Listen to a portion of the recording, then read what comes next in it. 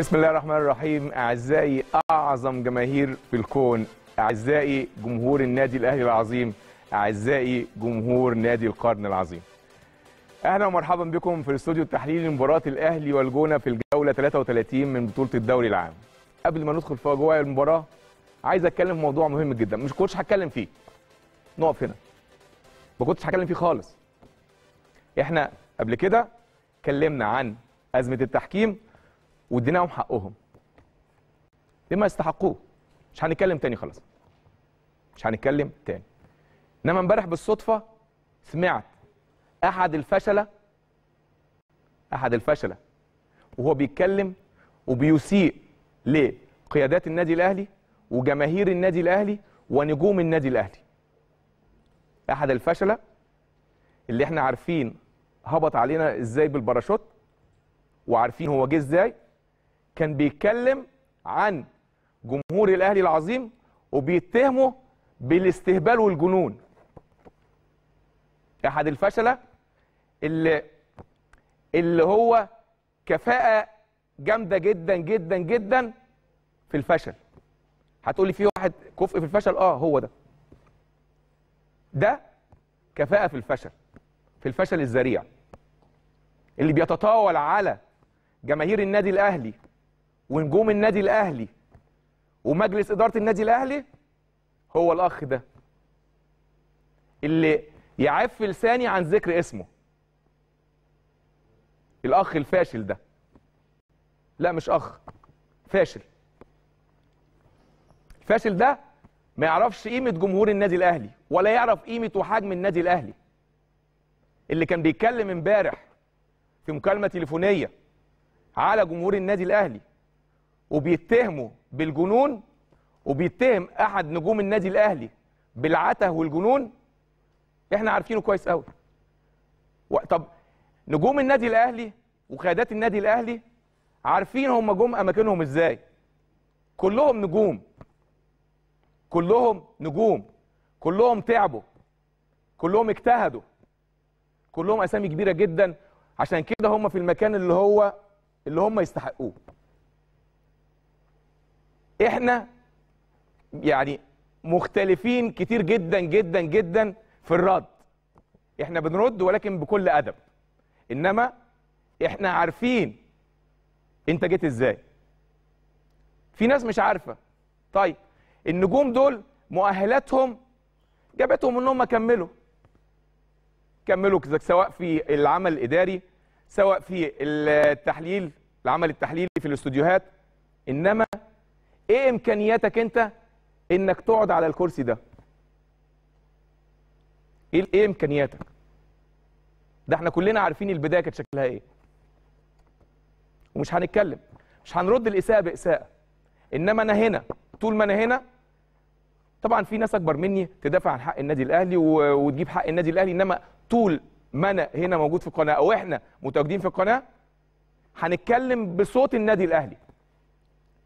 هنتكلم بصوت النادي الأهلي وجمهور النادي الأهلي ومجلس إدارة موجود ويعرف ياخد حقه كويس قوي كويس قوي قوي قوي كمان. إنما اللي حصل ده كان فيه تجاوز. إحنا بنتكلم عن فترة مش عايزين فيها إثارة للفتنة. اللي اتقال من أحد المسؤولين امبارح عن منظومة الكرة في مصر في إساءة لجمهور النادي الأهلي وإساءة لمجلس إدارة النادي الأهلي وإساءة لنجوم النادي الأهلي. هيعدي كده؟ هنتكلم. مش هنسيء ليه زي ما هو اساء لينا. ولكن كلنا عارفين هو في المكان ده إزاي. هل ليه تاريخ؟ إيه إمكانياته إنه يقعد في على الكرسي ده؟ امبارح كوميديا بقى. يعني ما كنتش عايز أتكلم على التحكيم مش هتكلم على التحكيم إنما أنا هتكلم عن اللي, اللي قاله أحد الفشل امبارح. إن هو قال التحكيم المصري هو الأفضل افريقيا وعالميا ودوليا. طيب ومحليا فين؟ ده كلامه هو. ده كلام أحد الفشلة. قال لك التحكيم إحنا نتمنى إن التحكيم المصري على طول يبقى بخير ونتمنى التوفيق لكل الحكام المصريين طول عمرنا بنقول كده وبنساندهم وبنقف ونقف معاهم. إنما لما يبقى في أخطاء كنا بنتكلم عن الأخطاء مش هنتكلم عليها تاني خلاص. إنما أنا بتكلم برد على اللي هو قاله إمبارح. قال التحكيم المصري بخير واللي بيقول اللي بيصدر حتة التحكيم لجمهوره ده علشان يداروا بيه الإخفاقات والفشل. ده بيتكلم عن مين؟ يعني الاخ ده بيتكلم عن مين؟ باشا الاخ ده. انت بتتكلم عن مين؟ إحنا كلنا عارفين كلنا عارفين المت... إن المتضرر الأكبر من خطايا التحكيم السنة دي كان هو النادي الأهلي. مش هتكلم بعصبية أنا بتكلم بهدوء بس أنا برد عليك بكل أدب. إنما أنا أصلا برد على الكلام اللي أنت قلته. أنت مسؤول كبير في اتحاد الكورة إزاي تطلع تقول الكلام دوت؟ إحنا كلنا بنقول الفترة دي مش عايزين إثارة الفتنه خالص. ماشي. قلنا ماشي. إحنا دلوقتي خلاص مش هنتكلم في أي إثارة للفتنة. إحنا أول أصلا ما بنثيرش فتنه يعني دي مش من عادتنا ولا طبيعتنا هنا في قناة النادي الأهلي ولا في النادي الأهلي خالص. بالعكس ده في أوقات كتير جدا كانت الناس بتقول للكابتن محمود الخطيب لو سمحت رد. وهو الراجل كان ما بيتكلمش عشان ده مش أسلوبنا. كان أسلوبنا الرد في حتة تانية. الرد في حتة تانية وحتى لما بنيجي نرد بنرد بأدب. إزاي مسؤول يطلع امبارح يسيء لجماهير النادي الأهلي؟ ومحدش قال حاجة خالص محدش يعلق. وبعدين آه، الرد بقى يعني في بداية الرد تحس إن هو بيرد على رأسي حاجة يعني على رأسي على رأسه بطحه ما هو لو كان الكلام يعني ما أثرش فيك كنت هتعديه. لو كان الكلام مش حقيقي كنت هتمشيه. إنما هو طلع أساء لجمهور النادي الأهلي. كلنا شفناه أو أو حتى اللي شافه بعد كده. يمكن أنا شفته بالصدفة. وما قدرتش ما قدرتش امنع نفسي ان أنا ما اتكلمش. يعني لازم اتكلم بصراحة. لأن تصريحه بصوا يعني أنا يعني قليل لما استفز. ممكن أتعصب. عش- عشان خاطر النادي الأهلي ممكن أتعصب. انما برضه هحاول إن أنا أتكلم بكل هدوء. الراجل ده في المكان ده كلنا عارفين جه إزاي. لما أساء امبارح لجماهير النادي الأهلي لازم نرد عليه. بس هنرد بكل أدب. هنرد بكل أدب. لما اساء لقيادات النادي الأهلي في قيادات في النادي الأهلي هتعرف ترد عليه. إنما طول ما إحنا هنا في قناة النادي الأهلي لازم ناخد حق النادي الأهلي. لازم نجيب حق النادي الأهلي. وجمهور النادي الأهلي أنا عارف إنه هيجيب حق يعني من يومين كده ارجع كده من يومين حصل إيه كده وبص كده اللي حصل. ويعني انت فتحت على نفسك باب لو عرفت تقفله يبقى جدع قوي قوي قوي يعني كمان. المهم هو اتكلم بقول لكم ب... ب... بصورة كوميدية في الأول على موضوع ال- التحكيم. وإحنا قلنا خلاص إحنا اتكلمنا بما فيه الكفاية وخدوا حقهم. بما يستحقوه.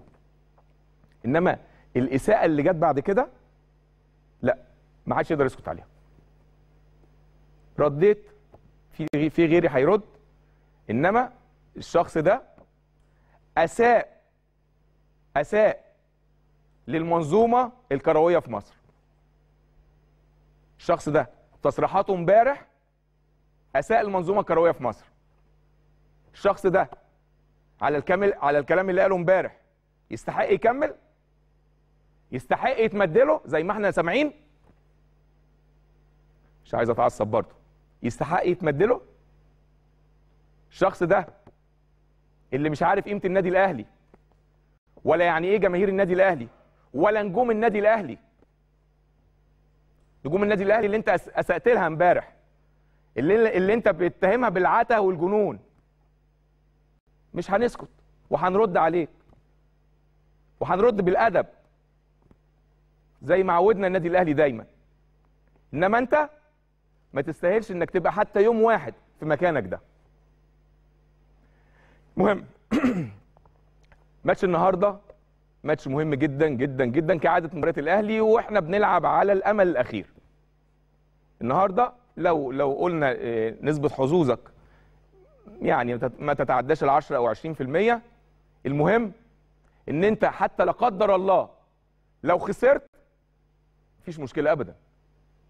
لو خسرت مفيش مشكلة ابدا. النادي الأهلي لما بيخسر بطولة بيكسب قدامها 10 بطولات.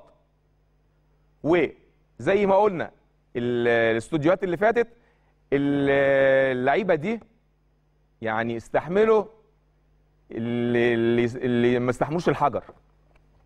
اللعيبة دي السنة دي أمتعتنا كتير جدا أسعدتنا كتير جدا. وقلنا الثلاث ماتشات الأخيرة ديت بغض النظر عن اللي هياخد البطولة. دي احتفالية اللعيبة دي. لأن إحنا ما كناش بنلحق نلحق بنلحق نفرح بالبطولات. إحنا يا دوبك ناخد بطولة النهارده. يا جماعة نقول نبص بقى البطولة اللي جاية بكرة علشان نجيبها. بطولة الأسبوع الجاي عشان نجيبها. نجيب البطولة اللي بعدها نخش في البطولة الثالثه نخش في البطولة الرابعة. ال- الفترة دي فترة الاحتفالية بالفريق ده. إحنا ما لحقناش نفرح لا بكأس مصر ولا دوري السنة اللي فاتت ولا سوبر أفريقي ولا أفريقيا مرتين. ده كفاية أفريقيا مرتين. يبقى الفترة دي احتفالية للعيبة دي احتفالية للجهاز الفني احتفالية للمنظومة ككل احتفالية لجمهور النادي الأهلي. الداعم والسند الرئيسي والأساسي في الانتصارات اللي حققها لعيبة النادي الأهلي. الفترة دي احتفالية. اللعيبة دي تعبت. اللعيبة دي ضحت بحاجات كتير جدا. وضع طبيعي في الكورة انت دخلت خمس بطولات في في توقيتات قريبة جدا جدا من بعض. في أخطاء؟ آه في أخطاء. في أخطاء فنية؟ آه في أخطاء فنية. إحنا زعلانين من بعض ال- الأخطاء ديت اللي حصلت في بعض المباريات وخسرتنا بعض النقاط؟ آه زعلانين. ومن حقك. ولكن إحنا بنتعلم بقى من الأخطاء دي. النادي الأهلي بنتعلم بالأخطاء دي. إنما لما يكون في حاجات إيجابية لازم نتكلم فيها. ما آه في حاجة سلبية. عادي. أنت دخلت خمس ست بطولات في 10 شهور في 9 شهور. نسبة تركيزك في كل البطولات مش زي بعض. أنت تركيزك في الخمس ست بطولات الأولانيين خلاص خد نسبة تركيز عالية جدا جدا برغم وجود الأخطاء. مش عايز أنكر إن في أخطاء. في أخطاء طبعا أكيد.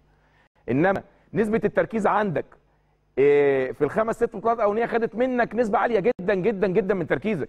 خد خد نسبة إيه، مجهود بدني وذهني عالي جدا جدا. بالتأكيد بالتأكيد في في واحدة منهم هتهوي أو في واحدة منهم مش هتيجي. ممكن ما تجيش. ممكن. وما زال الأمل موجود. وما زال الأمل موجود. قبل المباراة إحنا بنتكلم قبل المباراة. ما نعرفش إيه اللي هيحصل كمان ساعتين ولا كمان ثلاث ساعات. إنما إحنا بنتكلم على سنة من أحسن السنوات اللي مرت على النادي الأهلي آه، حصد البطولات. فترة بسيطة جدا جدا جدا. مش عايزين آه، يعني آه زعلانين في أخطاء بس مش عايزين ال- الجيل اللي جاب البطولات ديت نقصوا عليه عشان بطولة الله أعلم إيه اللي هيحصل. لا قدر الله لو البطولة ضاعت مش عايزين نقصوا عليه لأن دول فرحونا. فرحونا من شهر أغسطس اللي فات لحد وقتنا هذا في خمس ست بطولات. فاللي حصل عادي. اللي حصل في أخطاء. معترفين إن في أخطاء. هنتعلم من أخطائنا. أكيد. وده بيحصل في النادي الأهلي على طول. الخسارة لا قدر الله لو حصلت عمرها ما بتكون النهاية. بل على العكس. هي دايما البداية عندنا ليه؟ لأن إحنا مش متعودين على الخسارة. إحنا مش متعودين على الخسارة. إنما التاريخ بيقول إيه؟ التاريخ بيقول النادي الأهلي بيكسب بطولات. النادي الأهلي بيحطم أرقام قياسية. النادي الأهلي بيطلع من بطولة بيكسب بطولة. النادي الأهلي ما بيفرحش ببطولة وينام عليها. مش النادي مش ده مش النادي الأهلي. إنما النادي الأهلي لما بيخسر بطولة بيعرف يرجع إزاي؟ هو ده البطل. هو ده البطل. وكله بسواعد ولاد الأهلي. وكله بمساندة جماهير النادي الأهلي العظيمة. وكل بطولات الأهلي على مدى التاريخ ملهاش نهاية. كل بطولات الأهلي ملهاش نهاية خالص. والكلام ده أنتوا حضراتكم عارفينه أكتر مني. أنا النادي الأهلي أنا نادي البطولات أنا منصات الت- التتويج أنا الأرقام القياسية أنا مرعب أفريقيا. الفوز والخسارة ده شيء وارد جدا في عالم كرة القدم ما إحنا عارفينه طبعا. إنما مسيرة النادي الأهلي ما بتتوقفش ابدا بخسارة مباراة أو خسارة لقب. الأهلي عنده محطات كتير جدا. جاية وبطولات كتيرة جدا جدا جاية الفترة اللي جاية. يمكن يمكن من السنة اللي فاتت حتى وقتنا هذا لسه ما تلعبش الكاس السوبر المصري اللي هو بين الأهلي وطلائع الجيش. لحد دلوقتي ما تلعبش. دي بطولة. لسه النادي الأهلي هيلعبها. عندنا كاس مصر الفترة أنا بتكلم ولسه في أمل حتى الآن. حسابيا لسه في أمل في الدوري. عندنا بعد كده السوبر مصري اللي إحنا بنتكلم عليه من السنة اللي فاتت. عندنا السوبر الإفريقي. كلها بطولات مهمة. كلها بطولات أهم من بعض. بطولة الدوري هي فعلا لقب غالي جدا جدا جدا وعزيز على جمهورنا. بطولة الدوري يمكن بطولة الدوري بتبحث عن النادي الأهلي. يعني في في المواسم القليلة اللي النادي ال- الأهلي خسرها يمكن الدرع كان بيبقى زعلان. الدرع ما بيستحملش يبقى سنة بعيد عن النادي الأهلي. تحس إن الدرع بيبكي لما بيبعد عن النادي الأهلي. سنه وعايز يرجع. فدي مواقف حصلت لنا ومرت بينا وجمهور النادي الأهلي ما بينساش. آه الموسم الموسم اللي إحنا فيه دوت. فيه صعوبات كتير جدا جدا جدا ولكن الجيل ده أو الرجالة دي بتاعت النادي الأهلي تقريبا خدت كل حاجة. لما لما بطولة يعني نسبة التركيز بقى قلت وعندك إجهاد وعندك إصابات وعندك غيابات بطولة ممكن هي حتى الآن ما زالت بطولة في الملعب لكن لو في بطولة يعني راحت منك خلاص مفيش مشكلة. انت كسبان قبلها خمس بطولات وهتكسب بعدها أكتر من بطولة إن شاء الله. إنما نتعلم من أخطائنا. أكيد هنتعلم من أخطائنا. وده النادي الأهلي وده البطل. الب- خلي بالكم دي مش واقعة. اللي أنا بتكلم عليه ده مش واقعة. تقول لي بقى الناس اللي بتقول لك البطل لما يقع يوم هو فين البطل لما يقع؟ هو فين البطل لما وقع؟ إحنا ما وقعناش. إحنا بنحارب في ظروف صعبة جدا جدا جدا جدا. اتظلمنا كتير جدا جدا جدا السنة دي. اتضغطنا كتير جدا جدا جدا السنة دي. ومع ذلك سنة من أعظم وأحسن السنوات في الإنجازات وفي تحقيق الأرقام القياسية للنادي الأهلي السنة اللي فاتت دي. نروح بقى لماتش الجونة النهارده. طبعا فرقة الجونة بتقدم مستويات محترمة لكن النادي الأهلي دايما دايما بيلعب على المكسب. حتى لو كان في ماتش ودي. يعني يمكن لو فاكرين ال- الماتش الأولاني تقريبا كان النادي الأهلي مع الجونة كان تقريبا one side game يعني إحنا بنلعب في نص ملعب الجونة. من ضمن الأخطاء جت فينا الكره ثابتة في آخر الماتش جت في كتف محمد نجيب ودخلت جول فينا ضيعت مننا نقطتين دي من ضمن الأخطاء عادي معترفين. ولكن كان النادي الأهلي ساعتها هو الأفضل. ولكن النتيجة ما كانتش في صالحنا. انما النهارده ان شاء الله أنا واثق لعيبه النادي الاهلي ورجاله النادي الاهلي هيلعبوا على المكسب مهما حصل. سواء ماتش النهارده أو الماتش الاخير الأسبوع الجاي أو كمان ثلاث أيام. انما رجاله النادي الاهلي ما يأثرش فيهم ابدا بطوله تضيع ابدا. اللي أنتوا عملتوه يا رجاله شيء عظيم جدا جدا جدا جدا تستحقوا عليه التقدير والتحية والاحترام. أنتوا وجمهور النادي الأهلي العظيم. جمهور النادي الأهلي العظيم اللي هو ورا كل انتصاراتنا. تعالوا بقى نروح نطمن على الفريق ونروح لزميلنا العزيز فاروق صلاح ونشوف آخر مستجدات قبل آه، ذهاب فرقة النادي الأهلي لملعب المباراة. اتفضل يا فاروق. كل التحية ليك يا كابتن أيمن وكل التحية لكل مشاهدينا مشاهدي ومتابعي شاشة قناة النادي الأهلي في كل مكان. جولة جديدة من جولات الدوري المصري الممتاز. خلاص المرحلة قبل الأخيرة مباراة الجولة الثالثة والثلاثين. مباراة اللي هتقام على استاد خالد بشارة وتجمع ما بين النادي الأهلي ونادي الجونة. خليني أقول لك إن بالأمس كان المران الأخير لفريق النادي الأهلي على ملعب مختار التتش قبل المران عقد مستر بيتسو موسيماني محاضرة فنية مع اللاعبين لشرح بعض النقاط الخاصة بفريق الجونة وطريقة لعب الفريق الجونة وأيضا إيجابيات وسلبيات فريق الجونه مواطن الضعف مواطن القوة القوة في فريق ال- الجونه شدد مستر بيتسو موسيماني مع اللاعبين على ضرورة عدم يعني خلاص إن إحنا نركز وضرورة إن إحنا نلعب لآخر نفس نلعب لآخر دقيقة. وده طبعا يعني شعار النادي الأهلي وهو ده اللي النادي الأهلي بيسير عليه إن أنا ألعب لآخر دقيقة وأتمسك بالأمل في المباراتين مباراة الجونة ومباراه أسوان. يعني عقب المحاضرة الفنية أيضا الكابتن سيد عبد الحفيظ اتكلم مع اللاعبين وحث اللاعبين على ضرورة إنهاء الدوري وإن أنا لازم أكسب الماتشين ماتش مباراة الجونة ومباراه اسوان آه، عقب المحاضرة وال يعني محاضرة الكابتن سيد عبد الحفيظ اللي كان التمرين الأخير لفريق النادي الأهلي. ركز مستر بيتسو موسيماني على بعض الجوانب الخططية والجمل التكتيكية.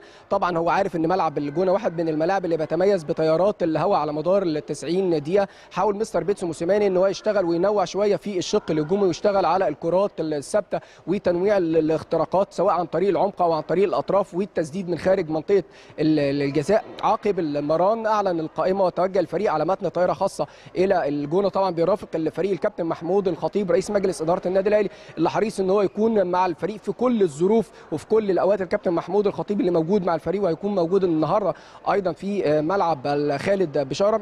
بالنسبة لتفاصيل يوم النهارده اللاعبون تناولوا وجبة الإفطار في تمام الساعة الحادية عشر صباحا ثم وجبة الغداء كانت في تمام الساعة الثالثة عصرا ثم المحاضرة الفنية لمستر بيتسو موسيماني كانت في تمام الساعة الخامسة والنصف. مستر بيتسو موسيماني في المحاضرة الفنية طبعا اتكلم مع اللاعبين على آخر التعليمات ومن خلالها أعلن التشكيل. تقدر تقول التشكيل مش هيختلف كثيرا عن يعني التشكيل الاهلي في اللقاء الأخير باستثناء طبعا غياب طاهر محمد طاهر لحصوله على الإنذار الثالث وغياب حمدي فتحي بعد شعوره بشد في العضلة الخلفية اللي من يعني من خلال الدكتور أحمد أبو عبلة حاولنا نطمن على حمدي فتحي وقال عقب العودة من الجون هيتم إجراء فحص طبي لحمدي فتحي. ويعني يشوف فرص لحاقه بمباراة أسوان. إن شاء الله هتكون كبيره إن هو يكون موجود في مباراة أسوان.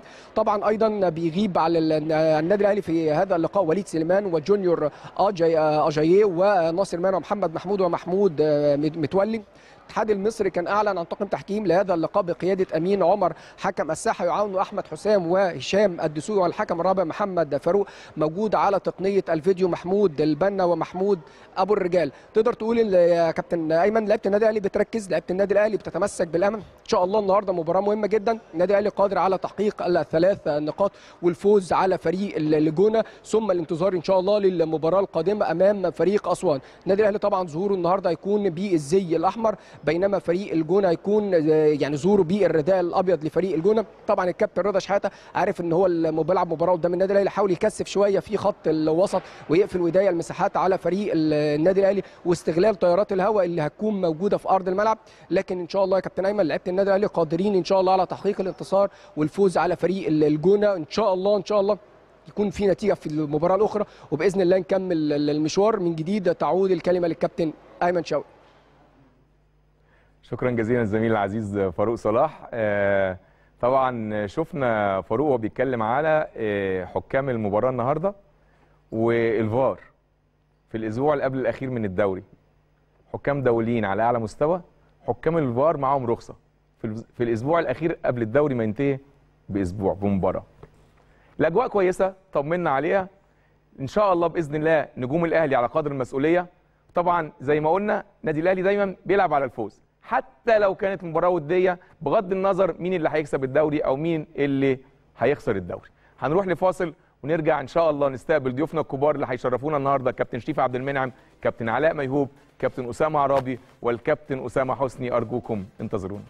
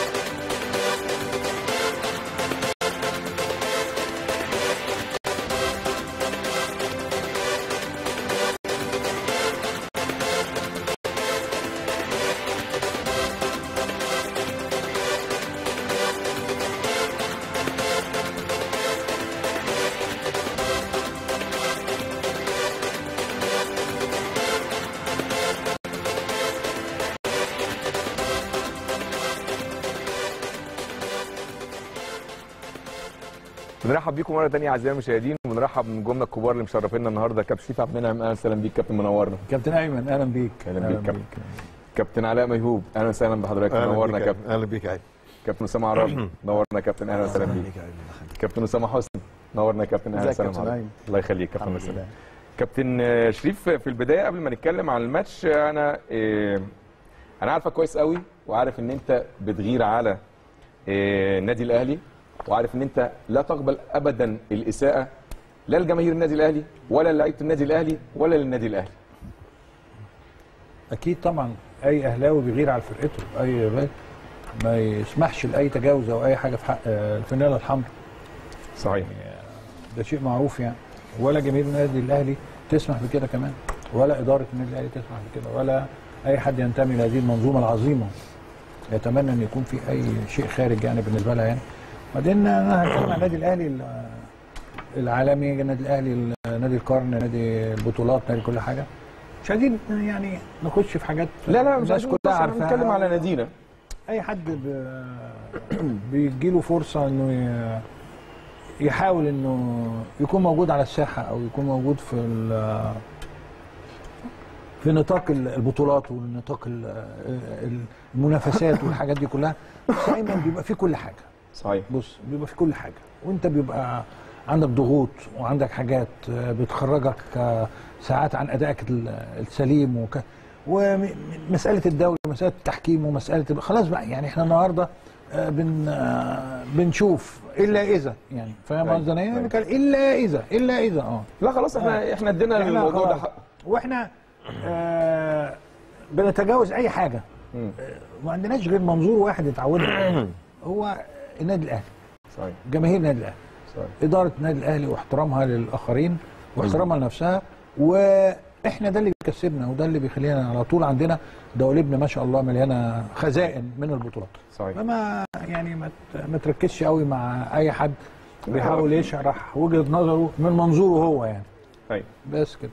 ماشي. كابتن علاء إحنا آه، في النادي الأهلي تعودنا دايما لما يكون في أخطاء ما ما بنغمضش عينينا وما بنتكلمش فيها بالعكس إحنا هنا يمكن آه، في بعض الناس كانوا بيزعلوا مننا إن إحنا بنقول بعض الأخطاء اللي بتحصل ولكن النادي الأهلي لا قدر الله ما زالت البطولة حتى الآن في الملعب ولكن النادي الأهلي لما بيخسر بطولة بيشوف اخطائه إيه بيتعلم منها ومش عايز أقول لك بقى ال- ال- اللي بيحصل بعدها النادي الأهلي كان بيعمل إيه السنين اللي فاتت والنادي الأهلي متعود يعمل إيه في حالة خسارة بطولة. بص يا ايمن انت وانت بتتكلم بتقول لما يخسر بطولة. آه. مش لما يكسب بطولة. بس لما يخسر البطوله دي بالنسبة لنا آه إحنا بنعتبرها كارثة. طبعا. حاجة اللي هو حاجة بالنسبة لنا بالنسبة لجماهير النادي الأهلي حاجة مش طبيعية. صحيح. ممكن ناس كتير قوي تعتبرها طبيعية هم اتعودوا على كده إحنا ما اتعودناش على كده. دايما بنقول الكلام ده هنا في القناة دي والحمد لله كلنا اتربينا في النادي. انت ما تعودتش ان انت تخسر بطولة. مظبوط. ما تعودتش انك تخسر مباراة في مباراة. ما تعودتش يبقى انت عندك كم مشاكل طول السنة انت مش متعود على كده صحيح. انت بتتكلم كابتن شريف دلوقتي تقول بعض الناس بتهاجم النادي الأهلي و... انت بتهاجم أكتر منظومة احتراما وانضباطا موجودة صحيح. في أفريقيا في الشرق الأوسط وأكيد في مصر اكترهم انضباط واحترام مظبوط. ونجاح طبعا ونجاح دي حط تحتها 100 خط نجاحات. والن- نجاح يعني صحيح. هو نجاح في كل حاجة صحيح. والنجاح ده دايما بنتكلم بنقول ما بيجيش من فراغ والله خالص ولا بيجي من. سنة ولا اتنين ولا ثلاثة صحيح. ده نجاح بتاع شغل طويل جدا. صحيح. والثقافه اللي وصلت لك دي وصلت لجماهيرك. أنت مش مستوعب ممكن تخسر البطولة لحد النهارده. أنت مش مستوعب لسه ولا جماهيرك. ما إحنا بنقابل الناس في الشارع. دي ثقافة ما حدش هيوصل لها. ثقافة إن أنت أنا مش مستوعب إن أنا ممكن أخسر بطولة في وسط كام بطولات أنت واخدها. أنت وص... أنت أنت عارف انت وصلت لايه اللي هو أنا مش عايز أفر... مش عايز أفرط في بطولة. في أي حاجة. وبطولة يعني يعني بطولة كانت في المتناول. أيوة. كويس. وممكن يكون حصلت أخطاء كده حصل. لكن في الآخر أنت مش قابل الموضوع. ودي طبعا ظاهرة صحيه جدا جدا. مش في أي نادي ولا اي أي منظومة ممكن تحصل. الأندية العظيمة بس. فعشان كده زي ما أنت بتتكلم دلوقتي آه، يعني اللي هيتكلم يتكلم. لكن أنت بتتكلم على منظومة ملهاش مثيل. صحيح. خالص. صحيح. لما تدور على أحسن حاجة الحمد لله موجودة ومنظمة ومفيش مشكلة فيها هو في النادي الأهلي. مظبوط صحيح. كابتن أسامة ال- كابتن علاء اتكلم عن منظومة النادي الأهلي وال زي ما شفنا امبارح في في واحد طلع هاجم يعني شوية. آه، مش عايزين نقول اسمه طبعا إنما عايزين نعرفوا إيه هو النادي الأهلي؟ وإيه هي قيمة النادي الأهلي؟ لو هو ما يعرفش ممكن ما يكونش بيعرف. ممكن.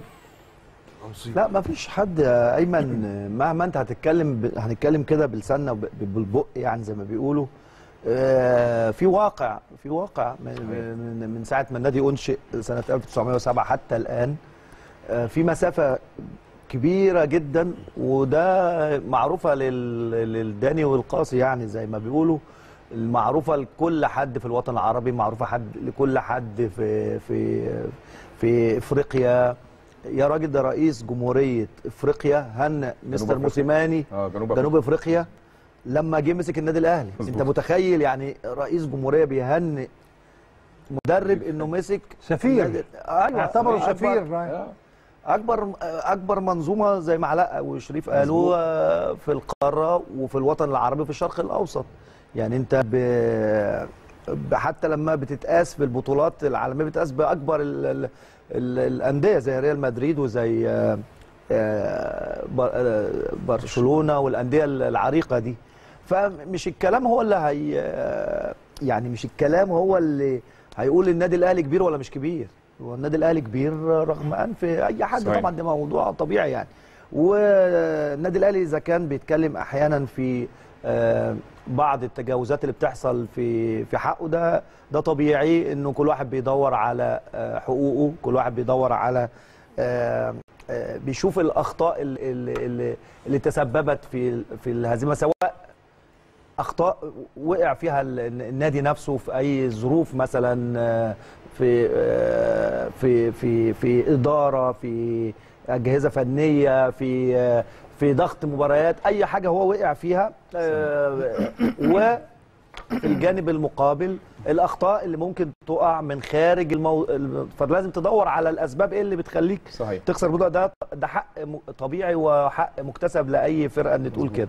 والنادي الأهلي معروف طول عمره إنه مش من الأندية اللي بتتجاوز أو تبالغ في هذا الموضوع يعني. مظبوط. على مدار تاريخنا كله يعني حتى دلوقتي الكابتن محمود الخطيب وقبل كده كابتن حسن وقبل كده محمود طاهر وقبل كده كابتن صالح سليم. أول ما بيقعدوا معانا يقول لك أنت مالكش دعوة بالحكام. صحيح. أنتوا خليكم في لعبكم أنتوا ركزوا في. ادائكم أنتوا ركزوا. وغيرهم وغيرهم من ساعة ما كنا بنسمع عن ال- الكابتن مختار التتش الله يرحمه يعني كل الناس اللي سبقوا. فدي آه، مش آه، النادي الأهلي عمره ما بيعمل حجج لخسارته آه، بطولة. وتاريخه بي بي بيتكلم عنه قبل ما إحنا نتكلم عنه يعني. صحيح يا كابتن. كابتن أسامة تعودنا هنا آه، في قناة النادي الأهلي إن إحنا ما نردش الإساءة بإساءة. ولكن نعرف كويس قوي طبعا في ناس بتعرف تجيب حق النادي الأهلي مسؤولين. ولكن بنعرف هنا كويس قوي آه، ناخد حق النادي الأهلي. نعرف ندافع عن النادي الأهلي. وده حق من حقوق النادي الأهلي عليه. مبدئيا يا كابتن أيمن وإحنا هنا في قناة الأهلي إحنا دايما عارفين إن في ملايين من الجماهير بت- بتتفرج علينا وبتشوفنا. جماهير النادي الأهلي 70 80 مليون. فإحنا دايما وإحنا قاعدين هنا في منبر قناة الأهلي دايما بنمثل النادي الأهلي حتى لو إحنا مش في الملعب. فإحنا النهارده بنحترم الجمهور. كل كلمة بتخرج مننا بتبقى بميزان. دايما قناة النادي الأهلي يعني على مدار تاريخها شوف كده تاريخها كده مش هتلاقي في برنامج اتوقف مفيش مذيع اتوقف مفيش أي حاجة سيئة بالنسبة لقناه الاهلي ده. دليل إن إحنا ماشيين بحيادية وماشيين باحترام بندافع بس عن حقوق النادي الأهلي. صحيح. الفترة الأخيرة لما كنا بنتكلم عن التحكيم هل كلامنا كان مرسل؟ كلام في العام؟ ولا كلام كان بأدلة؟ النهاردة لما كان بيجي الحكام ويقولوا النادي الأهلي مظلوم في الحتة الفلانية ليه ركله الجزاء؟ الهدف ده ما اتحسبش. فعلى أساس اللقطات كنا بنتكلم. السنة دي لما تتفرج على الاستوديوهات التحليلية وخاصة كمان مش هقول لك قناة الأهلي قناتنا مجروحة شوية إن إحنا يعني شهادتنا مجروحة. لكن شوف القناة اللي نقلة للدوري الممتاز أيوه. اللي عندها حصرية الدوري الممتاز. شوف هناك أكبر مشاهدة إيه؟ مش هتلاقي الاستوديو التحليلي كلام الكباتن اللي بيتكلموا في الكورة. هتلاقي الكلام أو الفقرة التحكيمية. يبقى اذا النهارده كان عندك مشكلة في التحكيم. إحنا النهارده ما بنسيئش للتحكيم أو بنسيء لاشخاص في التحكيم. النادي الاهلي في موسم 2019 وقت ما كل أندية الدوري الممتاز جريوا على حكام أجانب علشان العدالة وقتها وبالمناسبة العدالة إنهم خسروا الدوري في الآخر والنادي الأهلي خد الدوري. النادي الأهلي وقتها هو النادي الوحيد اللي وقف جنب الحكام المصريين وقال عندنا ثقة. لكن السنة دي لكن السنة دي لما إحنا اتكلمنا عن التحكيم كنا بنتكلم بواقعية. صحيح. لما يطلع واحد أحمق واحد فاشل يتكلم ويسيء لا ده إحنا النهارده بنتكلم بالأدلة. صحيح. طيب أنا عشان بس إن حضرتك عندك فاصل ن- ن- اتكلم بعد الفاصل. بس نطلع لفاصل وبعدين نرجع نكمل كلامنا. مع الكابتن اسامه حسني من جملة الكبار بعد الفاصل أرجوكم انتظرونا.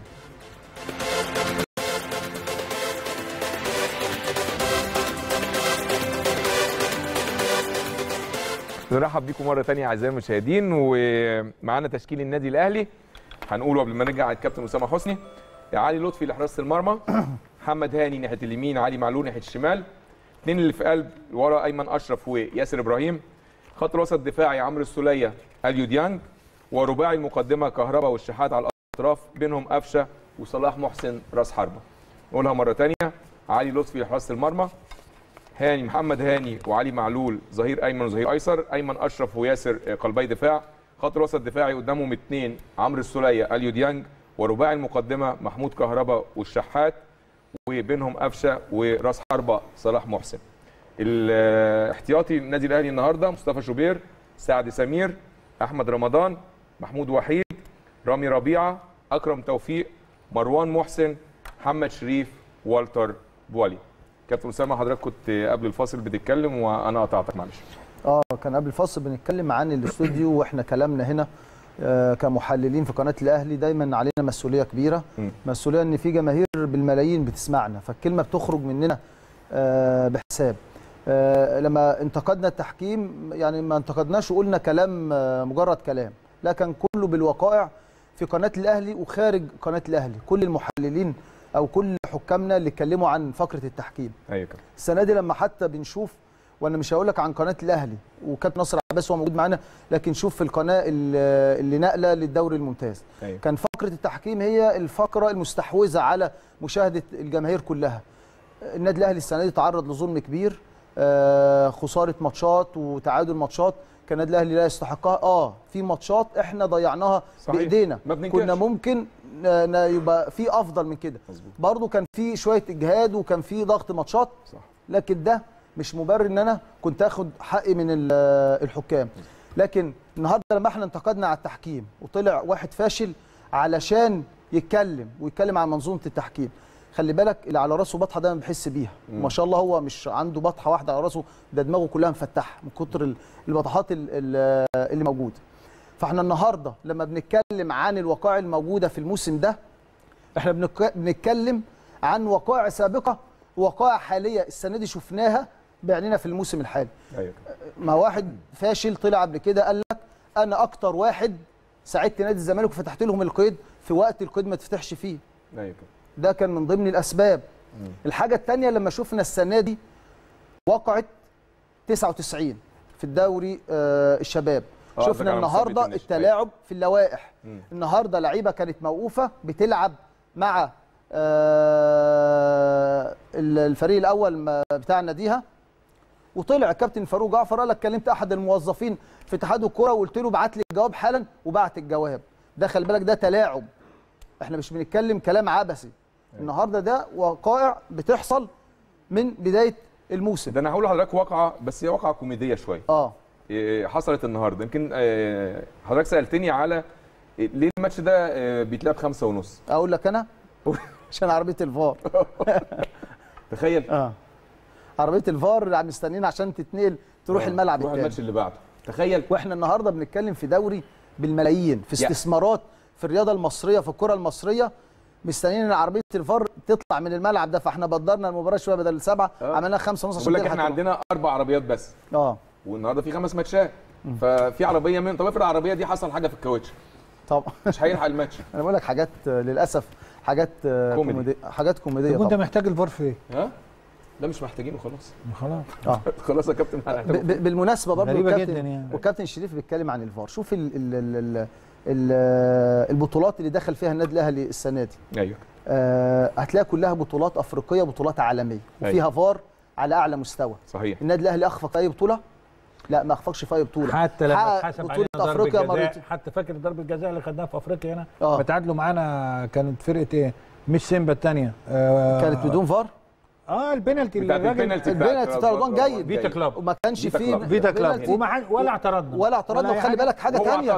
رضوان جاي طلع بعد المباراة اعتذر، اعتذر. إن تعثر الرؤية دي مظبوط. بالنسبة لمباراة الأهلي. لكن النهارده لما بنتكلم عن الفار في الدوري المصري لا في علامات استفهام كتير صحيح. جدا.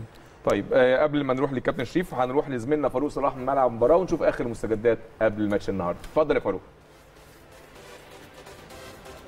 طبعا كل التحية ليك يا كابتن أيمن وكل التحية لضيوفك الكرام كابتن شريف عبد المنعم كابتن علاء ميهوب الكابتن أسامة عرابي والكابتن أسامة حسني وكل التحية لكل مشاهدينا مشاهدة ومتابعي شاشة قناة النادي الأهلي في كل مكان طبعا من هنا من استاد خالد بشارة ومباراة الأهلي والجونة في الجولة قبل الأخيرة الجولة الثالثة والثلاثين للدوري المصري. مباراة لسه نقول التركيز موجود عند لعيبة النادي الأهلي لعيبة النادي الأهلي بتتمسك بالأمل على الرغم من الصعوبات اللي واجهها النادي الأهلي على مدار هذا الموسم ما بين سفريات ما بين ضغط مباريات ما بين يعني في في وسط هذه الضغوط لعيبة النادي الأهلي قدرت إنها تفوز بدوري أبطال إفريقيا وتفوز بكأس السوبر وكأس مصر ويعني تبقى حامل لقب الدوري أبطال إفريقيا لعامين متتاليين. لعيبة النادي الأهلي بتتمسك بالأمل ده كان كلام مستر بيتسو موسيماني مع اللاعبين وأيضا الكابتن سيد عبد الحفيظ والشغل على الدعم النفسي والعامل النفسي للاعبين.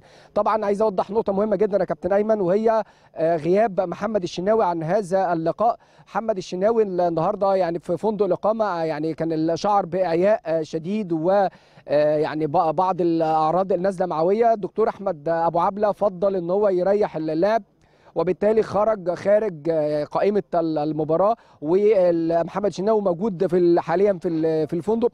طبعا الدكتور أحمد أبو عبلة يعني بعض الأدوية لمحمد الشناوي اللي بيعاني من نزله معوية لكن طمنا عليه بنسبة كبيرة جدا. وخرج من القائمة هو وكريم ندفد طبعا وأحمد نبيل كوكا. طبعا زي ما حضرتك استعرضت التشكيلة كابتن أيمن اللي أعلنه مستر بيتسو موسيماني لهذا اللقاء. وأيضا الموجودين على مقاعد البدلاء مصطفى شوبير ورامي ربيعة سعد سمير ومحمود وحيد وأكرم توفيق ومحمد شريف والتر بوليا ومروان محسن. خليني أقول لك برضو إن هنا الأجواء أكثر من رائعه درجة الحرارة بتتراوح ما بين 30 ل 32 درجة مئوية. نسبة الرطوبة ابتدت تقل شوية. شاء الله للظروف تكون مهيئة النهارده نشوف مباراة ما بين الأهلي والجونة وإن شاء الله كل التوفيق لفريق النادي الأهلي. من جديد تعود الكلمة للكابتن أيمن شوقي وضيوفه الكرام. شكرا جزيلا للزميل العزيز فاروق صلاح. آه، كابتن شريف آه، آه، قبل ما نروح لكابتن شريف وادي دجلة تعادل مع سيراميكا كليوباترا وكده هبط رسميا مع الإنتاج الحربي وأسوان. كابتن شريف مباراة صعبة آه، ما زلنا متمسكين بالأمل حتى آخر لحظة. ولكن مواجهة صعبة جدا خصوصا إن طبعا زي ما إحنا عارفين الفرق أربع نقاط وباقي مباراته ناهينا عن الفارق أربع نقاط أو مباراتين اللي باقيين في في الدوري. عموما أي فريق بيلعب النادي الأهلي بيبقى يوم خاص أو بيبقى مناسبة آه، بالنسبة للفريق اللي إحنا هنلعبه آه، حاجة اليوم الشهرة يوم صحيح. الأداء. يوم ال- اللعيبة كلها بنحس إن هم فرحانين إن هم بيلعبوا فرقة زي النادي الأهلي. آه، بالنسبة للفوز النهارده أو الثلاث نقاط ده دي ده شيء إحنا ما بنتكلمش فيه يعني. ده ده أساسي يعني. أنت لازم النهارده بإذن الله تكسب وإلا إذا حصل أي آه، دروب مع المنافس آه، يبقى ناقص آخر ماتش برضو بيحدد فيه مين بطل الدوري. ما حصلش النصيب خلاص يبقى انت موسم آه، بالنسبة لك هايل جدا. آه، حققت فيه آه، أحسن شيء انت كنت ممكن تتمناه. صحيح. آه، بطولتين كبار جدا افريقيا في ست سبعة أشهر. آه، كأس مصر آه، سوبر وداخل على سوبر مصر كمان لسه. فكل الناس بت- بتحاول تبقى معاك في في هذا الشكل من ال- النجاح. هذا الشكل من النجاح بيتوسم في إدارة قوية جدا آه، ومؤسسة عظيمة جدا بتشتغل على إسعاد جماهيرها. فبالنسبه لمباراة النهارده زيها زي أي مباراة أيمن إحنا بنلعبها. صحيح. في بذل مجهود كبير قوي عشان نخلص من أول المباراة عشان نجيب هدف واثنين وبقى ناقص بقية الوجود. وأنت كسبان واحد تقدر تلعب بشكل أحسن. وأنت كسبان اثنين تعمل شكل أحسن وأحسن. بغض النظر عن أي حاجة بغض أنا بلعب مباراة أنا مش شايف حاجة دلوقتي قدامي غير أنا. أنا النهارده المفروض إيه الأول؟ إن أنا أكسب ثلاث نقاط. بعدين يحصل يحصل. ما أعرفش بقى يحصل أي حاجة في الأفق الناحية الثانية زي ما أنتوا كنتوا بتتكلموا في ناس لعبت السنة دي آه، وكانت موقوفة وه- ما نعرفش يعني الدنيا. فيها حاجات كتير قوي ممكن تحصل.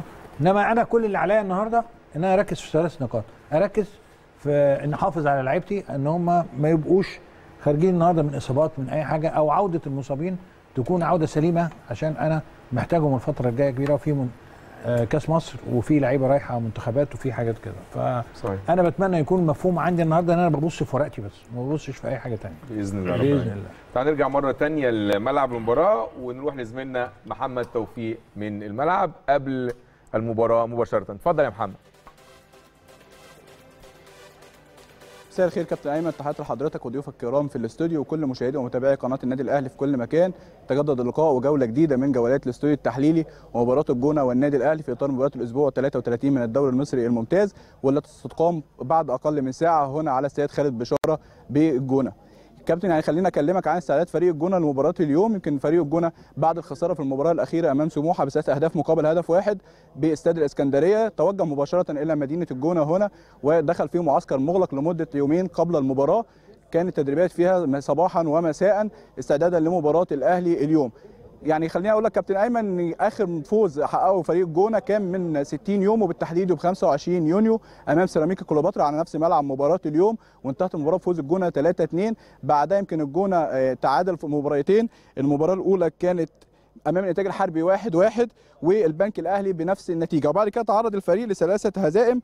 كانت أمام المقاولين 2 1 وبيراميدز 2 1 وفي المباراة الأخيرة أمام سموحة بثلاث أهداف مقابل هدف واحد. يمكن ده اللي خلى كابتن رضا شحاتة والجهاز الفني النهارده يلجأ لخطة دفاعية بعد شيء يمكن النهارده غير في التكتيك اللي بيلعب بيه وبادئ بخمس مدافعين وأربع لاعبين في وسط الملعب وبيلعب بمهاجم وحيد وهو عمر السعيد. يمكن خليني أكلمك كمان على أبرز غيابات الجونة النهارده أحمد عادل عبد المنعم اللي بيغيب للطرد في المباراة الماضية وناصر ناصر للحصول على ثلاث انذارات بينما يعود للفريق النهارده لؤي وائل وعمر السعيد ونور السيد. أما على صعيد الأجواء أنا كابتن أيمن الأجواء أكثر من رائعه يمكن درجة الحرارة 33 درجة مئوية نسبة الرطوبة 27% في يمكن نسمة هواء خفيفة هتبقى مع الفريق اللي هيبقى على يسار المقصورة. الأجواء أكثر من رائعه نتمناها إن شاء الله مباراة كبيرة كمان من الملاحظات اللي هنا في أرض الملعب يمكن طاقم أو حكام الفار اللي لسه عائدين من المغرب من نهائي البطولة العربية كابتن محمود البنا وكابتن أحمد حسام. يمكن قاموا ببعض عمليات الإحماء قبل المباراة. يمكن كلمت معاهم قلت لهم أنتوا ما لحقتوش تستريحوا بعد مباراة النهائي البطولة العربية. فالكابتن محمود قال ده واجب وتكليف اتكلفنا بيه ولازم نكون موجودين في أرض المباراة. نتمنى إن شاء الله ثلاث نقاط جديدة للنادي الأهلي. كل التوفيق للنادي الأهلي وفي المقدمة دايما. كلمة حضرتك وضيف الكرام كابتن ايمن شكرا جزيلا. الزميل العزيز محمد توفيق. إيه، جالنا تشكيل آه، الجونة. محمود الغرباوي لحراس المرمى وخمسة في خط الظهر. عندنا محمود الجزار ومحمد نجيب ولؤي وائل في القلب. على الأطراف عمرو السعداوي ناحية الشمال محمد عبد الجواد ناحية اليمين. قدامهم اثنين في نص الملعب نور السيد وأحمد عامر. وثلاثي المقدمة عمرو بركات ناحية الشمال إسلام عبد النعيم ناحية اليمين وعمر السعيد راس حربة. قولهم مرة ثانية محمود الغرباوي ثلاثي محمود الجزار محمد نجيب لؤي وائل. على الأطراف عمرو السعداوي محمد عبد الجواد. قدامهم خط وسط دفاعي نور السيد وأحمد عامر. وثلاثي المقدمة عمرو بركات إسلام عبد النعيم وعمر السعيد. كابتن علاء آه، أعتقد تشكيل النادي الأهلي ما فيهوش مفاجآت. يعني هو تقريبا هو بيلعب بالمجموعة اللي بدأت الماتش اللي فات ما عدا. بداية محمد هاني مكان أكرم توفيق. و اليو ديانج واليو ديانج ديانج عمرو السوليه بدأ بقى. آه، بس هو عشان حمدي فتحي كان بيشتكي آه، في الخلفيه على ما. أعتقد آه. هو بس عايز أتكلم في حاجة كان بيتكلم فيها كابتن شريف حكاية إن الأهلي بيلعب لحد آخر سليم مباراة ولحد آخر ثانية. أيوه. والأهلي بيلعب بطبيعته يا أيمن أيوة يعني مظبوط. بشخصيته. شخصية النادي الأهلي بيلعب أي مباراة بيكسبها أو عايز يكسبها أو تفكير ما بيفكرش غير في المكسب فالمتبقي مباراة المتبقي خمس دقائق 10 صحيح. دقائق النادي الأهلي هدفه واحد إن هو بيلعب دايما على مكسب فده إحنا بمف- يعني النقطة دي مش شغلانة عامة يعني ولا النهارده ولا المباراه القادمه إن شاء الله. مظبوط. بالنسبة للرضا النهارده بيلعب ب 3 4 3 يعني بيلعب بثلاثه في القلب وبيلعب أربعة بيلعب ثلاثة قدام. هو مغير النهارده إن هو عامل تدعيم شوية الحته الدفاعية. دفاعي فأنا هتكلم على هنتكلم عن النادي الأهلي الطريقة العادية. التشكيل حتى بيحصل فيه تغيير أنا بحس إن مفيش تغيير. زي وخصوصا دايما التغيير بيحصل في الاثنين في قلب نص الملعب. أيوة. وهم الثلاثه بي يعني أي اثنين منهم بيأدوا بيأدوا. بأدوار ممتازة آه، الحقيقة. أيوة. فما فيهاش مشكلة. شايف ان التشكيل آه، طبيعي جدا. ما فيش فيه مشاكل خالص. آه، هتلعب بطبيعتك. هتلعب ضاغط على فريق ال- ال- ال- الجونة. وأكيد مستر موسيماني بعد ما شاف التشكيل بتاع الجون هو خلاص متأكد إن هم بيلعبوا بثلاثه في في القلب. عايز يقفل حتة القلب كويس قوي دايما حتة القلق فيها حتة القلب حتة القلب دي. ممكن يبقى الأطراف برضو عط... يعني واضح إن رضا النهارده من من طريقة تشكيله مأمن تأمين جامد جدا النهارده مقفل آه. كويس قوي نص الملعب ودايما ال... ال... الأطراف يعني 3 4 3 دي بتقفل القلب اللي هو قدام حارس المرمى ودايما بت... بتحاول على الأطراف اللي هي مميزات النادي الأهلي صحيح يعني هو بيلعب على مميزات النادي مش بيلعب طريقته هو مظبوط. عشان كده بقول لك ايمن دايما اللي بيلعب النادي الأهلي هو ممكن يغير طريقته عشان النادي الأهلي لكن بيلعب عليك انت. علي علي أنا أيوة. وعمرها ما تبقى الحق عمرها تبقى العكس خالص أيوة. طول عمري بقول لك الكلمة دي انت بتلعب بطريقتك العادي المد... ال... ال... ال... ال... المنافس هو ممكن يغير طريقته. والنهارده آه، رضا مأمن حتة القلب النهارده. لكن فريق النادي الأهلي أنا شايف إن ال- الأطراف ممتازه كان علي واذا كان كهربا محمد هاني واكرم ما فيش فرق في الاثنين وحسين الشحات صلاح محسن زي ما قلنا كراس حربة مش محطة اللي هو بيتحرك عنده سرعات بيلعب ارتقاء بدماغه ممتاز. كان بيتكلم كابتن شريف في المباراة السابقة وجاب جول حلو قوي الماتش. اللي فات. آه، ديانج والسوليه ادوارهم العادية. ضاغط مع ضاغطين مع الناس ال- ال- الفراوده اللي قدام. أيمن أشرف وياسر وعلي معلوم محمد هاني. الت- التشكيلة ما فيهاش مشكلة. حتى خروج النهارده الشناوي موجود علي لطفي ما فيش ما فيش أي مشكلة. أنت الحمد لله كل مكان عندك عندك فيه لعيب واثنين وثلاثه والاثنين أو الثلاث لعيبه أحسن من بعض وكلهم. أساسيين. ما بتحسش إن النهارده أنا بلعب بالأول أو الثاني انما. كلهم لعيبة كويسة جدا وبيطمنوك في أي حاجة أنت عايزها. صحيح. كابتن أسامة آه، قبل ما نتكلم في تشكيل النادي الأهلي كنت عايز أتكلم مع حضرتك في في نقطة معينة. هل تركيز ومجهود لعيبة النادي الأهلي في البطولات المتلاحقة سواء محليا أو افريقيا أو دوليا بطولة كأس العالم خد شوية من تركيز ومجهود البدني والذهني من لعيبة النادي الأهلي في بطولة الدوري يؤثر على مستواهم طبعا مفيش شك في كده يعني ده إحنا. معترفين خلي بالك قبل. الكلام معترفين بإن بوجود أخطاء فنية عندنا وأخطاء تحكيمية أثرت في بعض المباريات طبعا ألف ب أنت أيمن أي لعيب في العالم مش في الدوري المصري بس محتاج راحات كويسة عشان يطلع أقصى ما عنده بدنيا وفنيا وذه- وذهنيا وعصبيا. ولذلك إنه آه، بتاخد راحات آه، ما بتفضلش أنت مش مكنة بتاخد راحات في أوقات معينة من الموسم. والمواسم بتتقسم فترات إعداد وفترات منافسات وفترات للراحة. في أي حتة في العالم. فطبيعي ضغط المباريات والتركيز في بطولة إفريقيا اللي كانت أهم بالنسبة للنادي الأهلي. كل البطولات مهمة. يعني طبعا النادي الأهلي بيخش أي بطولة عايز ياخدها. ولكن كان ال- ال- التركيز فترة أكتر منصب على بطولة إفريقيا. ده ما فيش شك آه، ضغط النادي الأهلي. عدد مباريات كبير جدا بيتلعب. آه، اللعيبة اتضغطت آه، عصبيا ونفسيا. حصل إصابات. ما أنت لما بتاخدش راحات كويسة ال- الإصابات تكتر. ده طبيعي. في في ان ان كل ما العضلة ما بتبقاش آه، مرتاحة واخده راحتها. سهل تتصاب. سهل تتصاب. لأنك آه، محملة بال- بالجهد الكبير من السفر من آه، من التدريبات من المباريات من الضغط العصبي.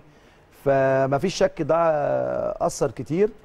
وادى فرصة لل... لل... للمنافس إنه كان بيلعب م- مبارياته والنادي الأهلي اتضغط في الثمان تسع مباريات م- مؤخر يعني اتأخرت عليه آه، أعتقد إنها من الأسباب اللي ساعدت كتير آه، آه، نادي الزمالك أو المنافس إنه كان بيلعب مرتاح نسبيا عننا في الدوري العام مم. لو هو اتحط في نفس الوضع ضغط المباريات دي أعتقد إنه النادي الأهلي كان ممكن يبقى واخد الدوري فرق مثلا 10 نقط 7 نقط 8 نقط من من أسبوعين مثلا. أيوه ولكن آه، ضغط المباريات والسفريات الكتيرة أثرت بالسلب طبعا ما فيش شك في بعض ال- المباريات يعني. استنفذت من جهد اللعيبة يعني. صحيح. طب رؤيتك الفنية بقى لتشكيل النادي الأهلي؟ آه، تشكيل منطقي ما فيهوش حاجة متغيرة. يعني هاني مكان أكرم ده عادي لأنه هاني أصلا هو اللي كان الأساسي. البقيه الناس هم هم. كتير شفنا ديانج مع السولية حمدي مع السولية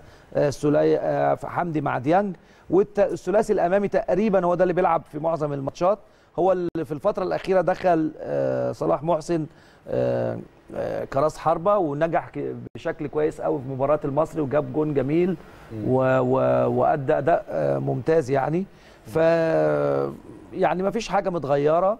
نفس الموضوع هتلاقي الجبهة اللي فيها علي معلول بتتحرك كويس لأنه مؤثر في الكرات العرضية وال سواء على ال- القائم الأولاني أو الثاني نفس الشيء الناحية الثانية هاني.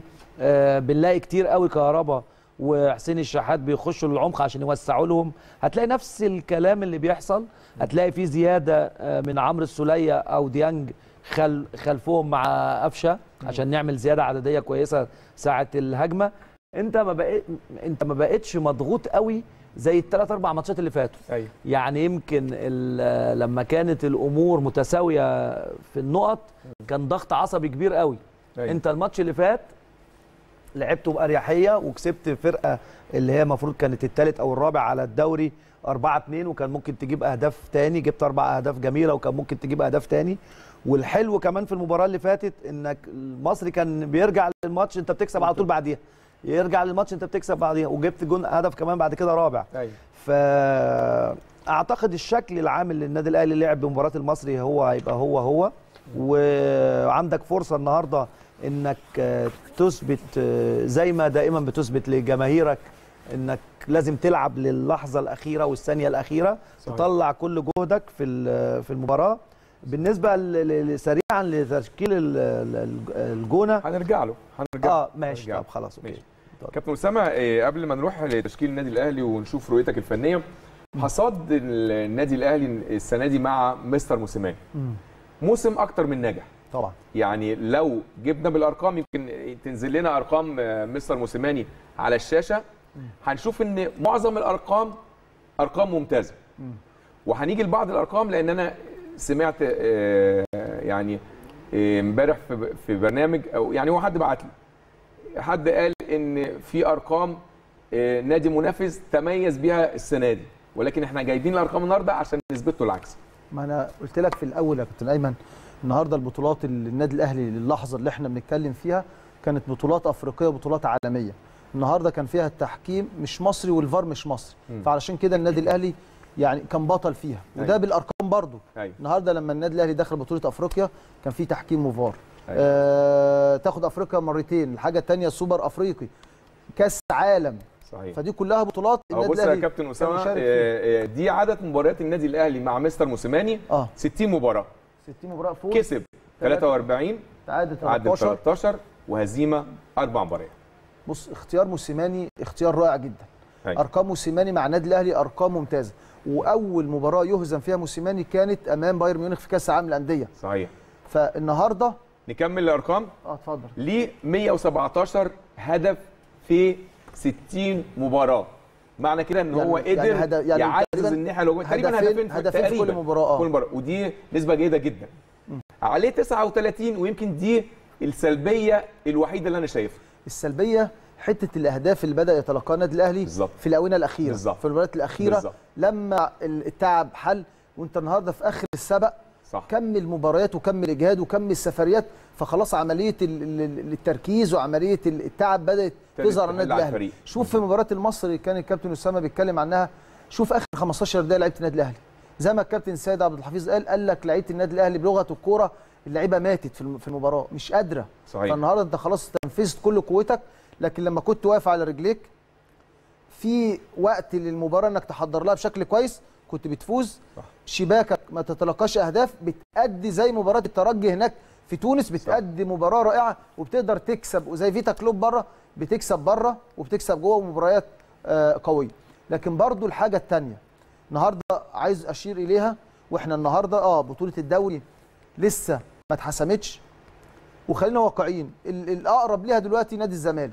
بس النهارده وانت للحظه اللي إحنا بنتكلم فيها النادي الاهلي بطولاته 10 من 10 لما دخل الموسم. ال squad بتاع النادي الاهلي وإحنا بنتكلم عن عدد اللعيبه اللي موجوده وانت بتحضر دايما في بداية الموسم للعيبة أو القائمه الموجودة عندك وانت هتشارك في ست سبع بطولات. صح. هل لعيبه النادي الاهلي وال squad اللي كان موجود في النادي الاهلي squad قوي؟ آه طبعا. والدليل على كده وإحنا بنتكلم. النهارده وكابتن علامة ايوب بيقول بيقول لك أنا مش فارق معايا الناس اللي موجوده النهارده أكرم موجود بيأدي نفس الأداء. محمد هاني موجود نفس الأداء. كابتن الدليل على كده حصدك للبطولات دي؟ طبعا. يعني وكمان ده أكبر دليل. ال- ال- ال- ال rotation والتغيير صحيح. المستمر الموجود. علي لطفي لعب مباراة الزمالك أيوه اللي إحنا كسبنا فيها في الدوري الممتاز أيوة. اللي كان موجود في في الملعب. حكم دولي وعلى الفار حكم دولي. صح. كسبناها. هل النهارده تاثرنا وقلنا الشناوي؟ لا. ادى.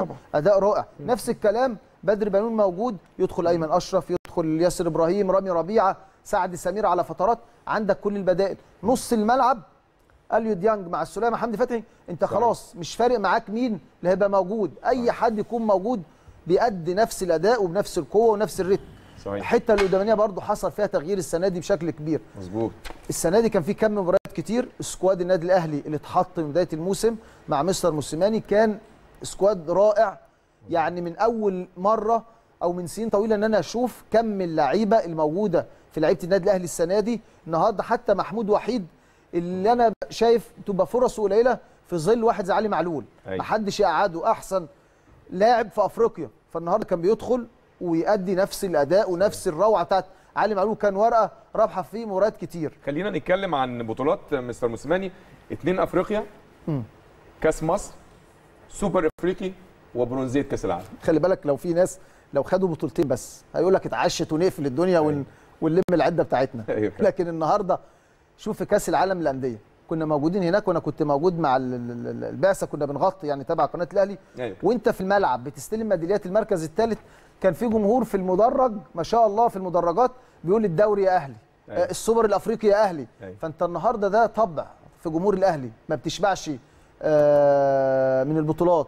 علشان كده النهارده وإحنا في الموسم الطويل ده يعني خبر إن إدارة الأهلي أو القائمين على كرة في النادي الأهلي بيدرسوا يعملوا احتفالية علشان نحتفل ده أفضل قرار للعيبة اللي تعبت طول الموسم. والنهاردة برضو إحنا بنتكلم حتى لو خسرنا الدوري اللعيبة دي لازم ترفع راسها اللعيبة دي أبطال اللعيبة دي لعيبة محترمة لعيبة أخلصت أفضل لعيبة موجودة في مصر. والدليل على كده شوف قائمة منتخب مصر. الكابتن حسام البدري هيختارها هتلاقي كامل. أكبر عدد من لاعبي النادي الأهلي. اللعيبة اللي اتطحنت اللي كانت تلعب كل 48 ساعة صحيح. وللأسف في ناس قائمة على كرة في مصر يعني كل علمها بالكره إنها حاجة مدورة بس الناس بتجري وراها لو دي عندها شيء من الذكاء وشيء من ال- ال- ال- المفهومية زي ما بيقولوا ما تحطش جدول زي ده للاعبي النادي الأهلي اللعيبة تطحن وتروح منتخب مصر طب هيبقى فين الأداء مع منتخب أنا عايز أقول لحضرتك حاجة. أنا قريت تصريح للكابتن رضا شحاتة اللي هو المدير الفني لفريق الجونة. آه. هو في الفترة الأخيرة ابتدت تضغط الماتشات للفرق. آه الثانية بيلعبوا كل 3 4 أيام يعني مباراه آه. فهو كان بيشتكي امبارح من ضغط المباريات الفترة دي. فما بالك بالنادي الأهلي اللي بتضغط له ماتشات من شهر أغسطس اللي فات. ده وخلي بالك ده حاجة تانية. مش ماتشات وانت بتسافر هنا اسكندرية وتسافر المحلة. ده انت بتسافر سفريات جنوب أفريقيا ومش عارف فين وفين والسودان وفين. و- وأجواء مختلفة. اجواء مختلفة طبعا. تلعب بالنهار التوقيتات و- و- وكمان الظروف اللي قابلتك. وانت عندك والاتفاق كان على أربع لعيبة يروحوا الأولمبياد. ست لعيبة راحوا الأولمبياد. والنهاردة وانت بتقف جنب منتخب مصر يبقى النتيجة بحط لك جدول بعد 24 ساعة هتلعب المباريات دي وبتفقد برضو لعيبة منتخب مصر. كأنك بتلعب خمس ست ماتشات بدون اللعيبة دي. كلها تحديات خلي بالك كبيرة جدا. ما يستحملهاش أي نادي في مصر غير النادي الأهلي. مظبوط. كابتن شريف آه، لو رجعنا لتشكيل النادي الأهلي هنشوف القوة الهجومية تقريبا آه، فيها ثبات في آه، مراكز اللعيبة وأسماء اللعيبة. بدأ بس النهارده. محمود كهربا على حساب طاهر محمد طاهر أعتقد. لأن طاهر هو اللي بدأ المباراة اللي فاتت. طاهر عنده إيقاف على ما أعتقد. آه عنده ثلاث إنذارات. ثلاث إنذارات. ولكن هو الت- التشكيل الوحيد اللي في المقدمة محمود كهربا مكان طاهر محمد طاهر. وزي ما كنا بنتكلم دلوقتي على بعض الأرقام اللي هي المميزة السنة دي ال- الجانب التهديفي للنادي الأهلي والقوه الهجومية الممثلة في أي رباعي بقى بيلعب قدام. كلنا اتفقنا إن جميع اللاعبين في النادي الأهلي على مستوى أول على مستوى واحد. آه الاشتراك بتاع اللاعبين حسب ضغوط المباريات وحسب الضغوط اللي إحنا عايشين فيها الفترة السنة دي والسنة اللي فاتت يعني كان في أحداث آه آه استثنائية مم. على الكرة في العالم كله يعني. صحيح. آه، تحملها النادي الأهلي آه، بالنسبة لمصر. آه، النادي الأهلي اللي هو صاحب البسمة دايما لجماهيره صاحب البطولات المطلوب منه تحقيق كل شيء على المستوى لما كان اسامه بيقول على المستوى المحلي والمستوى الدولي. انك انت تبقى لازم جاهز بلاعيبتك آه، بت ب... بت يعني بتعمل حالة للمنتخبات بتاعتك. حتى لو شفنا في 2006 و2008 و2010 النادي الأهلي كان صاحب الكلمة في الملعب. بص بمناسبة صاحب. الكلمة كابتن أهو آه، على الشاشة عندنا نادي الأهلي حتى الآن في إحنا بنتكلم على الدوري. أقوى خط هجوم 67 هدف. ثاني أقوى خط دفاع 25 هدف. أكثر فرص استقبل بالطبع طبعاً. أكثر فرص على المرمى 287 ده فرصه بالطبع يعني إنما ده النادي الأهلي. كمل. أكتر تمريرات صحيحة 85% تقريبا النسبة. أكتر تصويب على المرمى 190 تصويبة. أكتر تمريرات بينية صحيحة 144 تمريرة بينية صحيحة. وبالنسبة للنادي الأهلي أنا بحسب الإحصائيات دي قليلة كمان. آه. يعني إحنا لو بنلعب طبيعي بشكل طبيعي مفيش استثناءات مفيش حاجة. ممكن تزيد. كان ممكن يبقى دبل الحاجات دي كلها والأهداف دي تبقى دبل والتمريرات السليمة والشكل اللي نفسك فيه اللي تحلم بيه بتاع سنتين. فاتوا إن أنت بتخلص الدوري كمان قبلها بأربع خمس أسابيع. آه هو ده الشكل الطبيعي ليك آه بالنسبة يعني بالنسبة لشكل الهجوم بتاعك آه من اللعيبة إذا كان صلاح محسن من أحسن الناس اللي إحنا كنا ب... إحنا كلعيبه هنا بنشيد بيه. من آه. أحسن الناس اللي بيبقوا موجودين أنت من فترة قلت لي آه، أنا عايزه ياخد لأن ده من ضمن الأوراق الرابحة المهمة جدا لمستر موسيماني صلاح محتاج ياخد كتير ويخش جوه ال- ال- المسؤولية آه أنت اللعيب آه، يبقى بالظبط. بدل ما هو قاعد بره على الخط أنا حدي 20 حدي 25 آخد مسؤوليتي وابقى أنا مسؤول عن الفوز أيوة. أنا مسؤول عن تحقيق ال- ال- الفوز في المباراة أو التحركات اللي بتخلي آه، العشر لعيبة دي تثمر عن أهداف أيوة. بياخد المسؤولية خلاص وهو سنه صغير فمن حقه إن هو يعيش فتره إن أنا آه، لاعب أساسي. سلام بقى لو لعب جنب محمد شريف كمان. تبقى أيوة. قوه ضريبة أكتر. أيوه. لما يبقاش فيه إصابات أو في أي حاجة. يا سلام لما يلعب جنبه بواليا برضه. راجل إفريقي وبيعرف ينط ويقدر يديله من مساحاته والتحركات إن هو يفكر إزاي يروح على الجول ويحرز أهداف. فالشكل الهجومي بطبعك عندك شكلهم كلهم هدافين. مم. من قفشة لكهربا لحسين الشحات لصلاح محسن. دول من أكتر الناس اللي أنت ما تعرفش في أي وقت ممكن يترجموا الكره للهدف. أيوة. ومن أصعب الفرص بيترجموا لأهداف كتير جدا. أيوه. فأنا مش قلقان خالص على خط هجوم النادي الأهلي بل بالعكس. أنا كل اللي بتمناه إن آه، تحركات خط الهجوم بس تبقى أسرع شوية تبقى آه التفكير مع قفشة. يعني قفشة لما يمسك الكرة إزاي حسين الشحات بيبقى فريش كده؟ وازاي. صلاح محسن يتحرك يمين وشمال؟ أنا حاطط له سهم يمين وشمال والقدام في العمق. أيوه. ويعمل مساحات لسولية برضو. أنا يعني في حاجة كده شفتها الفترة اللي فاتت في مباريات ال- الأهلي. بقوا بيعتمدوا دايما على الكورة اللي هي بتسقط الطويله شوية بالنسبة للشحات وصلاح محسن. أو الشحات أو صلاح محسن وكهربا. لما بيبقى في فرصة إنك تضرب أي خط دفاع إحنا دايما بنلعب آه، خطوط الدفاعية اللي بتلعبنا أعتقد بيبقى عندهم دايما الاثنين اللي في النص مش على المستوى السرعة الكافي عشان كده بيدوا لك عمق في الدفاع. فأنت بتبقى عامل عمق هجومي أصلا فالكرة الطويلة دي كمان بقت بتدينا مساحة إن إحنا نبقى في أرض الخصم. أيوة. ده يتوازى بقى مع إن كل لعيبتك لازم تطلع يا أيمن لقدام. يعني لازم مظبوط. أيمن أشرف وياسر إبراهيم اليوم عند نص الملعب. ما ينفعش أدي ال space ده في في المرحلة دي. ودايما إحنا بننوه عن الحكاية دي. فاللعيبة كلها بتبقى بشكل مضغوط. compact بي- بيظهروا لبعض.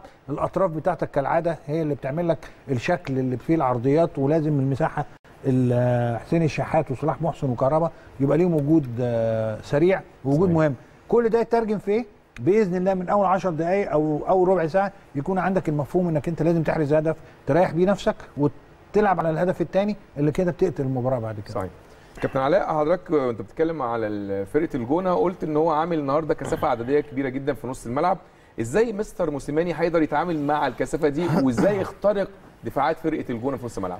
حاجتين أو ثلاثة مهمين جدا. اتفضل. دايما الاحتفاظ بالكره تمرير السليم تحرك بعد الكره وتحرك من غير كورة. دي أهم حاجة تضرب أي تكتلات بت- بتحصل. وأنت دايما بتعمل أحلى فتراتك في أي مباراة بتعملها بتعمل الحاجات دي. معظم الفرق بتعمل تكتل قدامك مش لازم بثلاثه لكن معظمهم بيعمل تكتل خصوصا في القلب وفي نص الملعب كويس انت متعود على كده وطريقة لعبك بتساعدك على كده بس تحت شروط دايما الكورة معاك انت أخطائك تقل آه. تمرير وحركة من غير كورة وأهم حاجة بقى من كل ده الكورة الثانية آه هي دي دايما اللي بتديك الأسبقية بتديك ان. الهجمة تكمل دلوقتي كل آه. آه. الكل بيهتم ايمن الكورة الثانية الكورة الثانية تروح معايا أنا طول ما الكورة معايا أنا هبدأ هجمة جديدة. طول ما انت ضاغط على الخصم في أخطاء تحصل. صحيح. مفيش. وده اللي حصل في ماتش المصري. بالظبط. بس ماتش. بس ماتش المصري عشان قريب. لا المساحات موجودة من البداية. ما البداية. كانش فيه تقفيل. إحنا في الدقيقة 3 ايمن جبنا 3 على 2 كان. شريف كان معانا. أربع فرص. أسامة بس ما كانش معانا. يعني أربع يعني أربع فرص في أربع أربع فرص في أربع دقائق. لكن الشكل اللي لعب بيه رضا النهارده لا.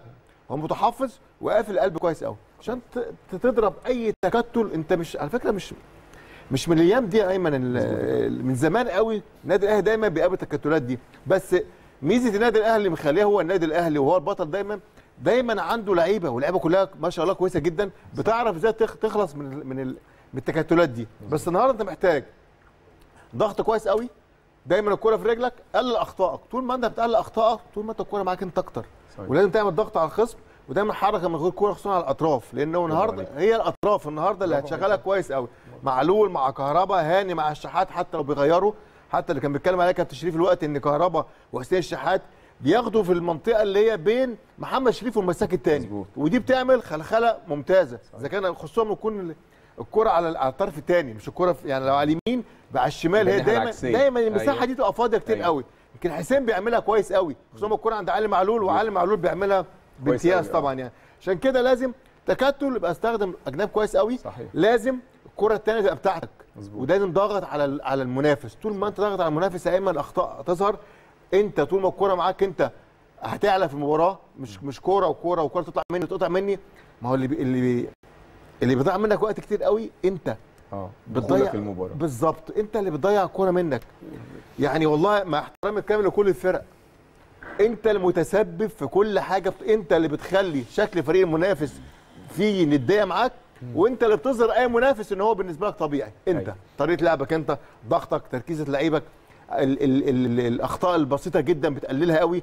طول ما انت معاك الكورة انت الأحسن. اللي هي التمريرات اللي إحنا بنقول عليها التمريرات ساذجة شوية تقطع منك بتبقى لوحدك. دي برضو بتقللك قوي. فالنهاردة زي ما أنا بقول لك كده ضغط كويس من البداية.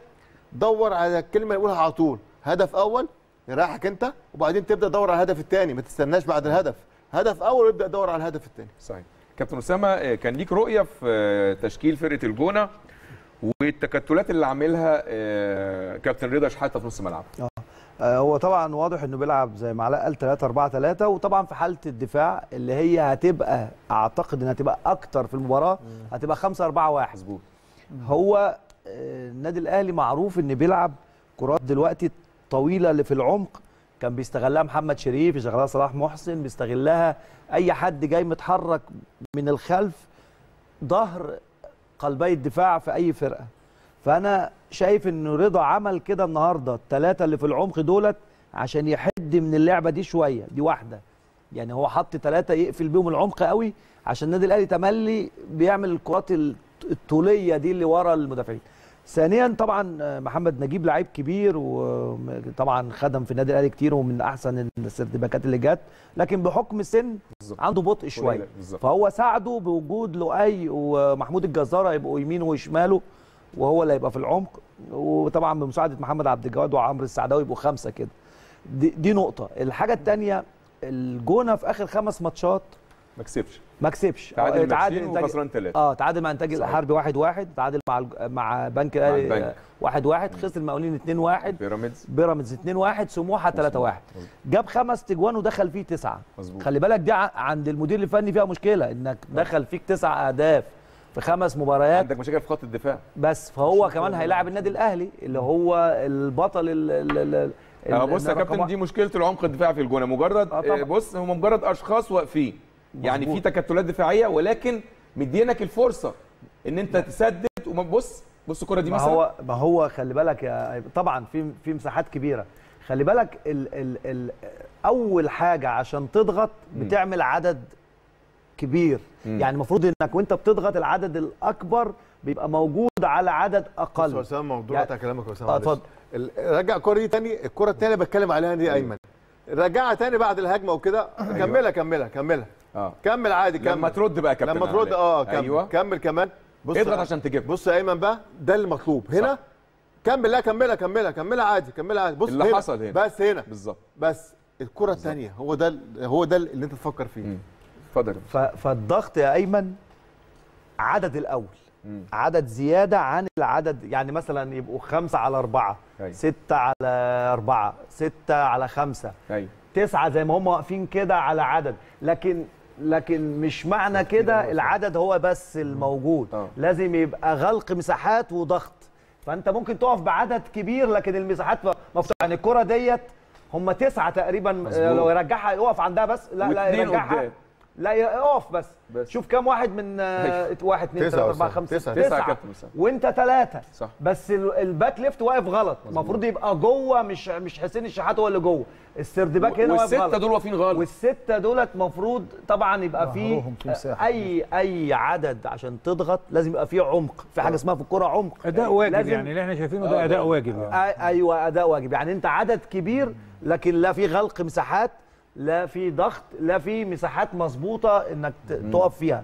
ف ف فدي من الأخطاء. أيوة. فهل النهارده هيبقوا متكتلين كده وسايبين برضو مساحات؟ يبقى دي في صالح النادي الأهلي ويستغلها ب... النادي الأهلي بيستغل الحاجات دي كويس قوي سواء حسين سواء كهربا سواء صلاح محسن سواء كان شريف أي حد لأنه بيعرفوا يخترقوا من الأطراف للعمق.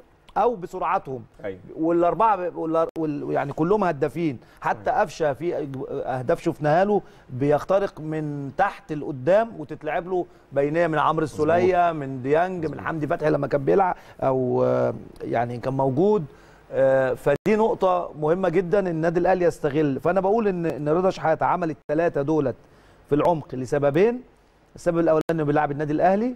الأهلي بيعمل كرات اللي هي شفناها دي اللي هي في العمق دي. والحاجة الثانية إنه دخل فيه تسع أهداف في آخر خمس ماتشات فلازم يبقى محرص شوية. آه وهو بيلعب أكبر فرقة في مصر. يقفل لازم يقفل مساحات. شوية يقفل مساحاته فعشان كده هو عامل التكتل ده النهارده. صحيح. كابتن أسامة آه عايز أتكلم على نقطة مهمة جدا جدا. آه يمكن لو نفتكر ماتش الجونه الأولاني تقريبا كان النادي الأهلي هو ليه الأفضلية. آه. ولكن كرة ثابتة يمكن حتى محمد نجيب لما لعبها لعبها بكتفه. آه. مش لعبها بدماغه. بس أحيانا الكرات الثابتة سواء ليك أو عليك تحسم لك المباراة. طبعا. ومعانا نسبة الكرات الثابتة لو لو تجي لنا برضو على على الشاشة بعد إذنكم اللي جت للنادي الأهلي السنة دي واللي جت عليه ماشي. من كمل، أهم اتفضل. الأسلحة الهجومية للنادي الأهلي. النادي صحيح. الأهلي شفناه السنة دي حتى غير بطولة الدوري في بطولة أفريقيا ماتشات كتير حسمناها بكرات ثابتة. كده. ركنيات موسيماني محفظ اللعيبة 1 2 3 كرات حتى الثابتة اللي خارج ال 18 بيوجدها في قفشة علي معلول. يعني في عن عندك حتى دلوقتي في الكرات الثابتة في ناس بتوجد ضربات الرأس. بواليا لما بيكون موجود حمدي فتحي بيكمل بدري بنون رامي ربيعة.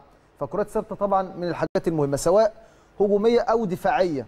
آه، إحنا تعادلنا من في المباراة ال- ال- ال- بتاعت وادي بتاعت ال- الجونة في الدور الأول. كرة ثابتة محمد نجيب. بس أيوة. ده ياخدنا لحاجة تانية. النهارده أنت لما بتحرز هدف برضو 1-0 دي بتفضل متعلقة معاك لآخر ثانية في صحيح. المباراة. صحيح. وانت بتسجل لازم تدور على الهدف الثاني مظبوط. خاصة انت بتحط رتم عالي بتضغط من فوق عشان خلاص تريح. كل الهدف كل الثاني النقاط اللي ضيعتها يا أسامة كنت غالب واحد بس. كنت كسبان واحد. بس. أنت فاهمني؟ فالمباراة أيوة. متعلقة يا كابتن علاء بالظبط بالظبط. لآخر ثانية. أيوة. فالنهاردة يدخل فيك هدف فالدنيا بتتكهرب وتصعب تد- تبدأ تدور على الهدف عشان تكسب تكون المباراة خلاص بس انتهت. طب أنا عايز أتكلم مع حضرتك أو يعني نتكلم في حاجة معينة. قالها ال- الكابتن علاء والكابتن أسامة والكابتن شريف قبل كده. آه. اتكلمنا في حتة إن النادي الأهلي وفريق كبير بحجم النادي الأهلي. أنت اتكلمت في موضوع إن أنت بتجيب جول وبعدين يخش فيك جول. آه. لا قبل ما يخش فيك جول أنت كنادي أهلي ممكن تكسب بجول. ممكن أكسب بجول وده خلي بالك برضو من ضمن صح. الأخطاء اللي إحنا وقعنا فيها في الموسم إيه؟ وأنا النهارده كسبان 1-0 مش لازم يبقى نفس الريتم بعد الهدف على طول. ممكن خلاص أهدى شوية الريتم يهدى شوية أقفل. ومش شرط إن أنا عشان أسجل هدف إن أنا أكون ضاغط من فوق لا ممكن ألعب على إن أنا أفتح مساحات في ظهر ال- ال- الفرقة اللي أنا بلعبها. مظبوط. برجع لنص ملعبي وعندي السرعات اللي بتجيد. عندي صلاح محسن محمد شريف كهربا حسين الشحات تقدر تشتغل في المساحات دي. آه. فهو للأسف كان الريتم. بعد ما بسجل هدف هو نفس الريتم. لا ممكن أهدى. أحافظ على الجون. الناس تتمركز بشكل جيد. وأبدأ أدور على الهدف آه الثاني إيه، أنت اتكلمت في موضوع التمركز الجاي. يعني إيه، أنت اتكلمت في نقطة مهمة جدا إن أنت ممكن يعني ما تلعبش الماتش كله بنفس الريتم أو بنفس. الأسلوب. آه. أنت كسبان ماتش. كسبان واحد. والفرق واحد. ويمكن كنا اتكلمنا زمان إن في أكتر من دوري إحنا خدناهم بفرق جول. آه. وكنا بنعرف نحافظ على المكسب. كويس؟ السنة دي في أوقات كتير جدا بنكون الأفضلية لينا إحنا متقدمين. مستر موسيماني بيعمل تغييرات زي اللي أنت بتقولها دي إن هو بينزل واحد ثالث عشان يقفل نص الملعب. ما هي ولكن دي. اللي بيحصل العكس هي دي. بنستقبل. هي دي دي التغييرة اللي فرقت معانا. إزاي؟ إزاي طيب؟ وإحنا ما تعلمش برضو منها موسيماني في الدوري. طب دي إزاي؟ كانت تمشي معاك في أفريقيا. تغييرة إيه؟ مم. لما تبقى أنت كسبان ولسه عندك وقت طويل وابدأ أسحب واحد من قدام وأزود, وزود في نص الملعب, الملعب. آه. في نص الملعب. هي دي النقطة اللي فرقت معانا. النهارده مش شرط إن أنا عشان أدافع صح آه. إن أنا أنزل واحد في نص الملعب. لا ما أنا ممكن الوظائف في الملعب لحسين الشحات أو لطاهر ارجع تبقى أنت مع الباك بتاعك وأبدأ أقفل الأطراف وهو نفس اللعيبة اللي موجودة عندي ويبقى نفس الشكل بس وظائف اللعيبة بتزيد في الملعب. بتزيد بدل النهارده ما أنا الناحية الهجومية زيادة لا ده أنا برجع واقفل يبقى نفس الشكل. مم. بس الناحية ال- ال- التغييرة بتاعت موسيماني كانت بتنفع في أفريقيا إن أنا أزود في نص الملعب وأقفل عمق الملعب بشكل أكبر. في الوقت ده كان عندك الأطراف واحد زي علي معلول واحد زي أكرم أو محمد هاني كان بيقف. لكن علي معلول في الدوري دايما على طول طاير دايما عايز يهاجم. فكان ممكن تلاقي في مساحات مساحة ورا آه في ظهره في تغييرة حلوة قوي محمود وحيد بينزل أيوة. whatever دي ويطلع علي معلول قدامه دي خلي آه، بالك دي عملها بقى ويطلع علي معلول. قدامه دي دي بت يعني مش آه. مش هيقدر بقى يفضل هيطير زي ما هو عايز لا، ده بس حاجة مش هيقدر. يرد ده كله عملها في ماتش لا لغاية خلي ال- بالك دي لما يبقى انت عندك تكتلات دفاعية قدامك الفرقة اللي قدامك وانت بتشتغل على الأطراف مظبوط. ادي علي معلول بقى مساحة حرية بدل ما يشتغل في 100 متر اشتغل في ال 25 متر ومحمود وحيد هو دي اتعملت فين ماتش الإنتاج الحربي لما كسبنا 3 2 أيوه. في آخر في الدقيقة 93 مظبوط. نزل محمود وحيد ورا وخلى علي معلول في هو اللي اشتغل في دي. الثاني أو هو اللي عمل الكرة اللي والتر خلي بالك هو عملها كتير. آه. هو عملها كتير. خلي بالك هو موسيماني بيبقى دايما محضر كذا سيناريو للمباراة في حالة التعادل في حالة إن أنا كسبان 1-0 وشفنا مباراة مباراة قبل كده آه، على ما أعتقد كانت آه، مباراة أسوان. حمدي فتحي لما رجع من نص الملعب رجع مساك وزود الناحية الهجومية. بالظبط. حسين الشحات لعب back right في ماتش ماتش من. الماتشات محمود وحيد زي ما الكابتن الشريف بيقول فهو دايما بيحط بدايل عنده لحالة اللعيب قبل الم- في المباراة. هل التغييرة دي هتجدي معايا؟ في حالة اللعيب أثناء المباراة. أعملها ولا ما أعملهاش؟ صحيح. الحاله البدنيه هي. لعيبة أساساً. عندك تفسير آه. للنقطة دي. آه. آه إيه بقى؟ هي يعني اسامه كان بيتكلم في, في, في التزام بعد الهدف. كل الكلام بيقوله ده صح يا اسامه كويس. هي ثقافة لعيب في الملعب. لازم إزاي أعرف أهاجم واعمل ضغط هجومي لازم تبقى عندي ثقافة ان إزاي احافظ على الهدف. فكرة مش عيب قوي تبقى 1-0 وأنا بلعب عشان أحافظ على الهدف ده. مش مشكلة. طبعا. مفيش والكلام ده فينا في الاستوديو. بس هي الثقافة إزاي؟ إزاي؟ على فكرة ده إدى أفضلية للفريق المنافس في ماتشات كتير. دي دي, دي حقيقة. يعني يمكن ال- ال- الزمالك آه، عملها قبل كده. انت عارف يا ايمن هي ثقافة لعيبتك ان انت حتة ان أنا ممكن التزم دفاعيا وأقفل دي بتبقى اختيار ثالث ما بفكرش آه. فيه.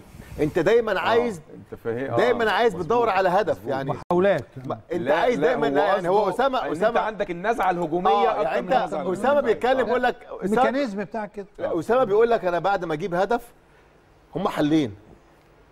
لازم نفس الأفراد مش لازم أغير بس نفس الأفراد الالتزام أو الضغط الهجومي اللي بعمله أنا ألتزم دفاعيا شوية على فكرة أيوة. مش عيب خالص ما فيهاش أي. مشكلة إن أنا عندي هدف أسمى من من اللعب والفرص. ثلاث ثلاث نقاط مهمين جدا في في يعني في فرق عالمية على فكرة مش مش مش في مش في, مش في مصر هنا. تكسب 1-0 ودوريات قوية جدا لكن بتحس إن الملعب ده استحالة يستقبل هدف صح. أنا مش عايز أجيب جول بس ما اخش فيها جول هو ده دي الثقافة اللي بتوصل بس اتفضل يا شريف لا أنا اتفضل. بأكد عليك في كلمة الثقافة دي الحقيقة هي دي. الثقافة اللي بت... اللي بيقول عليها علاء في التحركات كمان يعني أنا مش هفضل بهجم كده على طول أه، لا في تحركات لعيبة بالحالة وهم نفس. ال... وهم نفس تخلي الفرقة اللي قدامك مش عارفة نفس. اللعيبة آه، كابتن آه، شريف هم هم كانوا زي بيقول لك إن كهربا وحسين وكده ماشي أنا ممكن ما اغيرش بس التزام اللعيبة دي ورجوعهم الدفاعي زي ما بينطلقوا هجوميا يرجعوا دفاعيا خلاص انت ما عندكش مشكلة. استحالة يبقى عندك يعني مشكلة. انت ممكن تحافظ على المكسب. بنفس اللعيبة دي. تصنع الفارق بنفس, اللعيبة دي. بنفس اللعيبة دي. بس تغيير في الوظائف أو زيادة. تغيير في الو- تغيير في ال- في الشكل التكتيكي الهجومي. آه.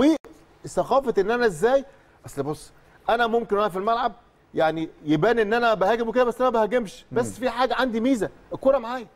ودي برضو مشكلة تانية إنك أيوة. بتفقد الكرة بسرعة في بعض بناخدها بسهولة. المنافس بيدور على هدف تعادل أنت أيوة. مش محتاج لكده أنت صحيح. محتاج لعيبتك تهدى والكرة دايما في رجلك ولما تيجي الفرصة أعمل هجمة لما تيجي الفرصة أعمل هجمة أعمل لكن مش شغل الشاغل إن أنا أعمل هجمة. ممكن تتقطع تعمل عليها مساحات كتير قوي. لازم تبقى منظم. لازم تبقى في نظام شوية. في فرق يا أيمن إنك بتدور على الهدف أيوه وفي فرق بعد الهدف.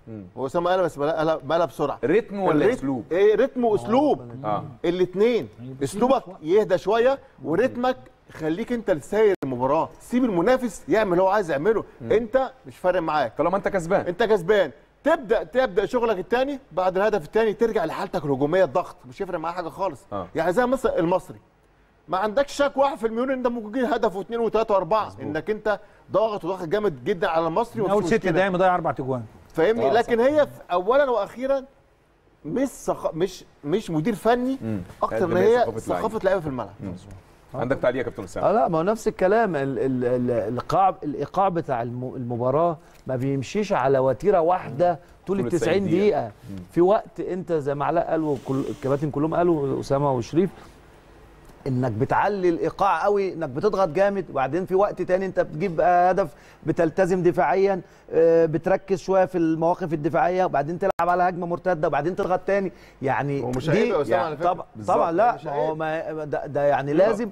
وكمان وكمان ال أقف معاك هنا بس ثانية كابتن. قيادة آه، من اللعيبة. اللي داخل الملعب دي مهمة الملعب، جدا. آه، دي مهمة جدا. يعني القيادة بتاعت اللعيبة اللي داخل الملعب مهمة جدا. ساعات ممكن ما تبقاش تعليم آه، توجيهات يعني مباشرة من المدير الفني. ولكن في اتنين تلات لعيبة عندهم قيادة في الملعب. يا جماعة نصبر شوية نقفل شوية نهدى آه، نلعب. ساعات في بتبقى بك- فلسفة عند بعض المدربين يا كابتن أسامة يقول لك إن أفضل فترة تقدر تخلص فيها الماتش بعد ما بيجيب الجول الأول. يعني تحافظ على نفس الريتم وتضغط بعد الجول الأول وتحاول تهاجم وتجيب الجول الثاني تقتل الماتش. ماشي ماشي. ما هو ده وما حصلش. لا. اللي بقى يبقى آه، اللي, اللي اللي, بقى لازم- بقى. آه. بالظبط. آه. يعني أنا مثلا كسبان 1-0 يا ايمن ونا- وناقص 10 دقايق على المباراة وب... وب... وبلعب على منافسة إن الثلاث نقط دول هيخلوني في ال... لا في وقت بقى ممكن أبقى متحفظ شوية حتى لو أنا الفرقة الأكبر حتى لو أنا ال- الفرقة اللي يعني اللي هي قوتها أكتر في الأفراد في اللعب الجماعي وبتاع. مش معنى كده إن أنا مش ههاجم ولكن بنتظم دفاعيا وأعمل التزام دفاعي كويس. بحافظ على كورتي. بحافظ على أيوه بحافظ. على الم... أنا بحافظ على كورتي. يعني أنا بتحرك زي ما بتحرك أيوة. بباصي سليم ما بعملش أي هجمة عليا. يعني ما بعملش مشكلة لل back right بتاعي. لازم أبقى اثنين ثلاثة الناحية دي. آه، نا- ناحية الشمال. عارفين إن علي معلول على طول بيطلع. يبقى إحنا برضو آه، ما بنسرحش. هو أنت هيجي فيك جول إزاي؟ بالغلطة. من اخطاء لا أنت أنت هيجي فيك جول إزاي؟ الكوره مش معاك. آه. طب أنا وأنا عندي القدرة إن أنا عندي لعيبة الكوره تحتفظ بيها كويس قوي بس بشيء من التزام وتعليمات. الكوره ما تقطعش. خلي الكوره معاك. هو المشكلة بعض اللعيبة تحس إن هو أو ناس كتير أقول لك عيب النادي الأهلي يدافع إيه اللي فيها عيب؟ لا مش عيب مفيش فريق كل فرق العالم العالم كلها العالم كله. مفيش في وقت بي... فرقة بدافع وهاجم اسمها كده على طول. بالظبط فرقة بدافع وهاجم. أنت آه. بس الثقافة عندك إن أنت دايما أنت اللي بتهاجم آه، وأنت دايما ليك اليد. العليا وده على فكرة الطبيعي في النادي الأهلي. لكن وقت ما أحب أدافع أدافع زي قوتك وشخصيتك ما بين وأنت بتهاجم نفس الشخصية والقوة دي تبان وأنا بدافع. صحيح. هو ده الفريق اللي بيوصل لحتة الكمال. صحيح. لا لا أيمن. سريعا برضو أنت ما فيش فرقة بتعمل استحواذ زي سان داونز إحنا في فترات في ماتش سان داونز صح. بس اللعيبة عشان عارفة إن هي بتلعب سان داونز أيوه أيوه بتحس إن مش مش. هيجي جون في النادي الأهلي رغم إن هم بقى. يعني الشوط الثاني ال- كله لعبنا بنفس الأسلوب دوت آه وفي آخر ثانية جبنا جول عن طريق صلاح خلي بالك ده. الماتشين كمان ده هنا وهناك هنا وهناك. هنا وهناك، آه، آه، هنا مظبوط. وهناك لكن طبعا ده مش معناه إنه ده هيبقى هو ده أسلوب أسلوب. النادي الأهلي لا أسلوب النادي الأهلي هو اللي مهاجم هو اللي بيخلق فرص هو اللي بيجيب. لكن في أوقات بتعمل بتلجأ للأسلوب ده لا يعني مع تكملة للحوارات دي كلها على كلمة سان داونز انت لعيبتك آه، شكل أيوة. واللعيبة اللي بتلعبك شكل تاني. أيوه. انت فاهم وخبرات و... وعدى عليك كل الكلام ده وعدى عليك الأجواء وسفر وال... فانت عارف قوتك النهارده فين؟ الخطف. في آه. الس- آه انت بس في حاجة قالها؟ الكابتن علاء برضو مهمة جدا خلي بالك. دور القيادة في الملعب وكابتن أسامة عرب دور القيادة في الملعب. يعني أحيانا أحيانا أنا أنا بحس إن اللعيبة ب... مش بتنسى ممكن يكون مستر موسيماني قايل لها حاجة بس هي بتمشي مع المباراة ب... ب... دور- دور- بتنسى دور سولية بقى. صح فاهم صح. دور سولية بقى يعني عمرو السولية شفناه. في أكتر من ما مباراه بقول لك أنا عايزة واحد قيادي في الملعب هو يعني في أوقات كتير جدا كانوا لاعبتنا الكبار كباتننا الكبار بيقولوا لنا إحنا نحاول ننسى نخش في جو طلعنا المباراه عليها أساسا. اقف.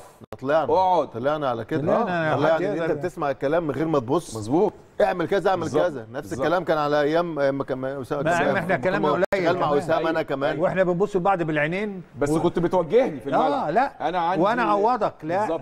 ولو علاء لسه طالع معايا و free وجامد وما أعرفش إيه واتضرب في كوره لازم أنا وأنا شريف الاكبر منه ارد ابقى أنا ال half خلي خلي بالك يعني بتبقى- ما انت النهارده في مباراة علي معلول مثلا طاير وشايف الشغل من عنده ممكن أيمن أشرف جنبه يا علي. اقف اقف بالظبط. اقف صح. شوية مش لازم دلوقتي لما تيجي واحدة بطلع فيها ده دور خلي بالك مش كل حاجة المدرب خارج الخطوط. انت كلاعيبة الشناوي من ورا في الدفاع واحد بيتكلم في نص الملعب قدام واحد. في كل خط يبقى في واحد دايما بيفكر دي الناس مفتقدينها شوية يا كابتن اسامه دي. حقيقة الدور. القيادي يعني هو مش مس- مش مستر موسوماني خالص أيوة. حتة أوقات المدير الفني الملعب ما بيقدرش. يوصل ال- ال- المعلومة ال- أو ال- الكلام للعيبة في واحد في الملعب كده صوته بيسمع كل اللعيبة.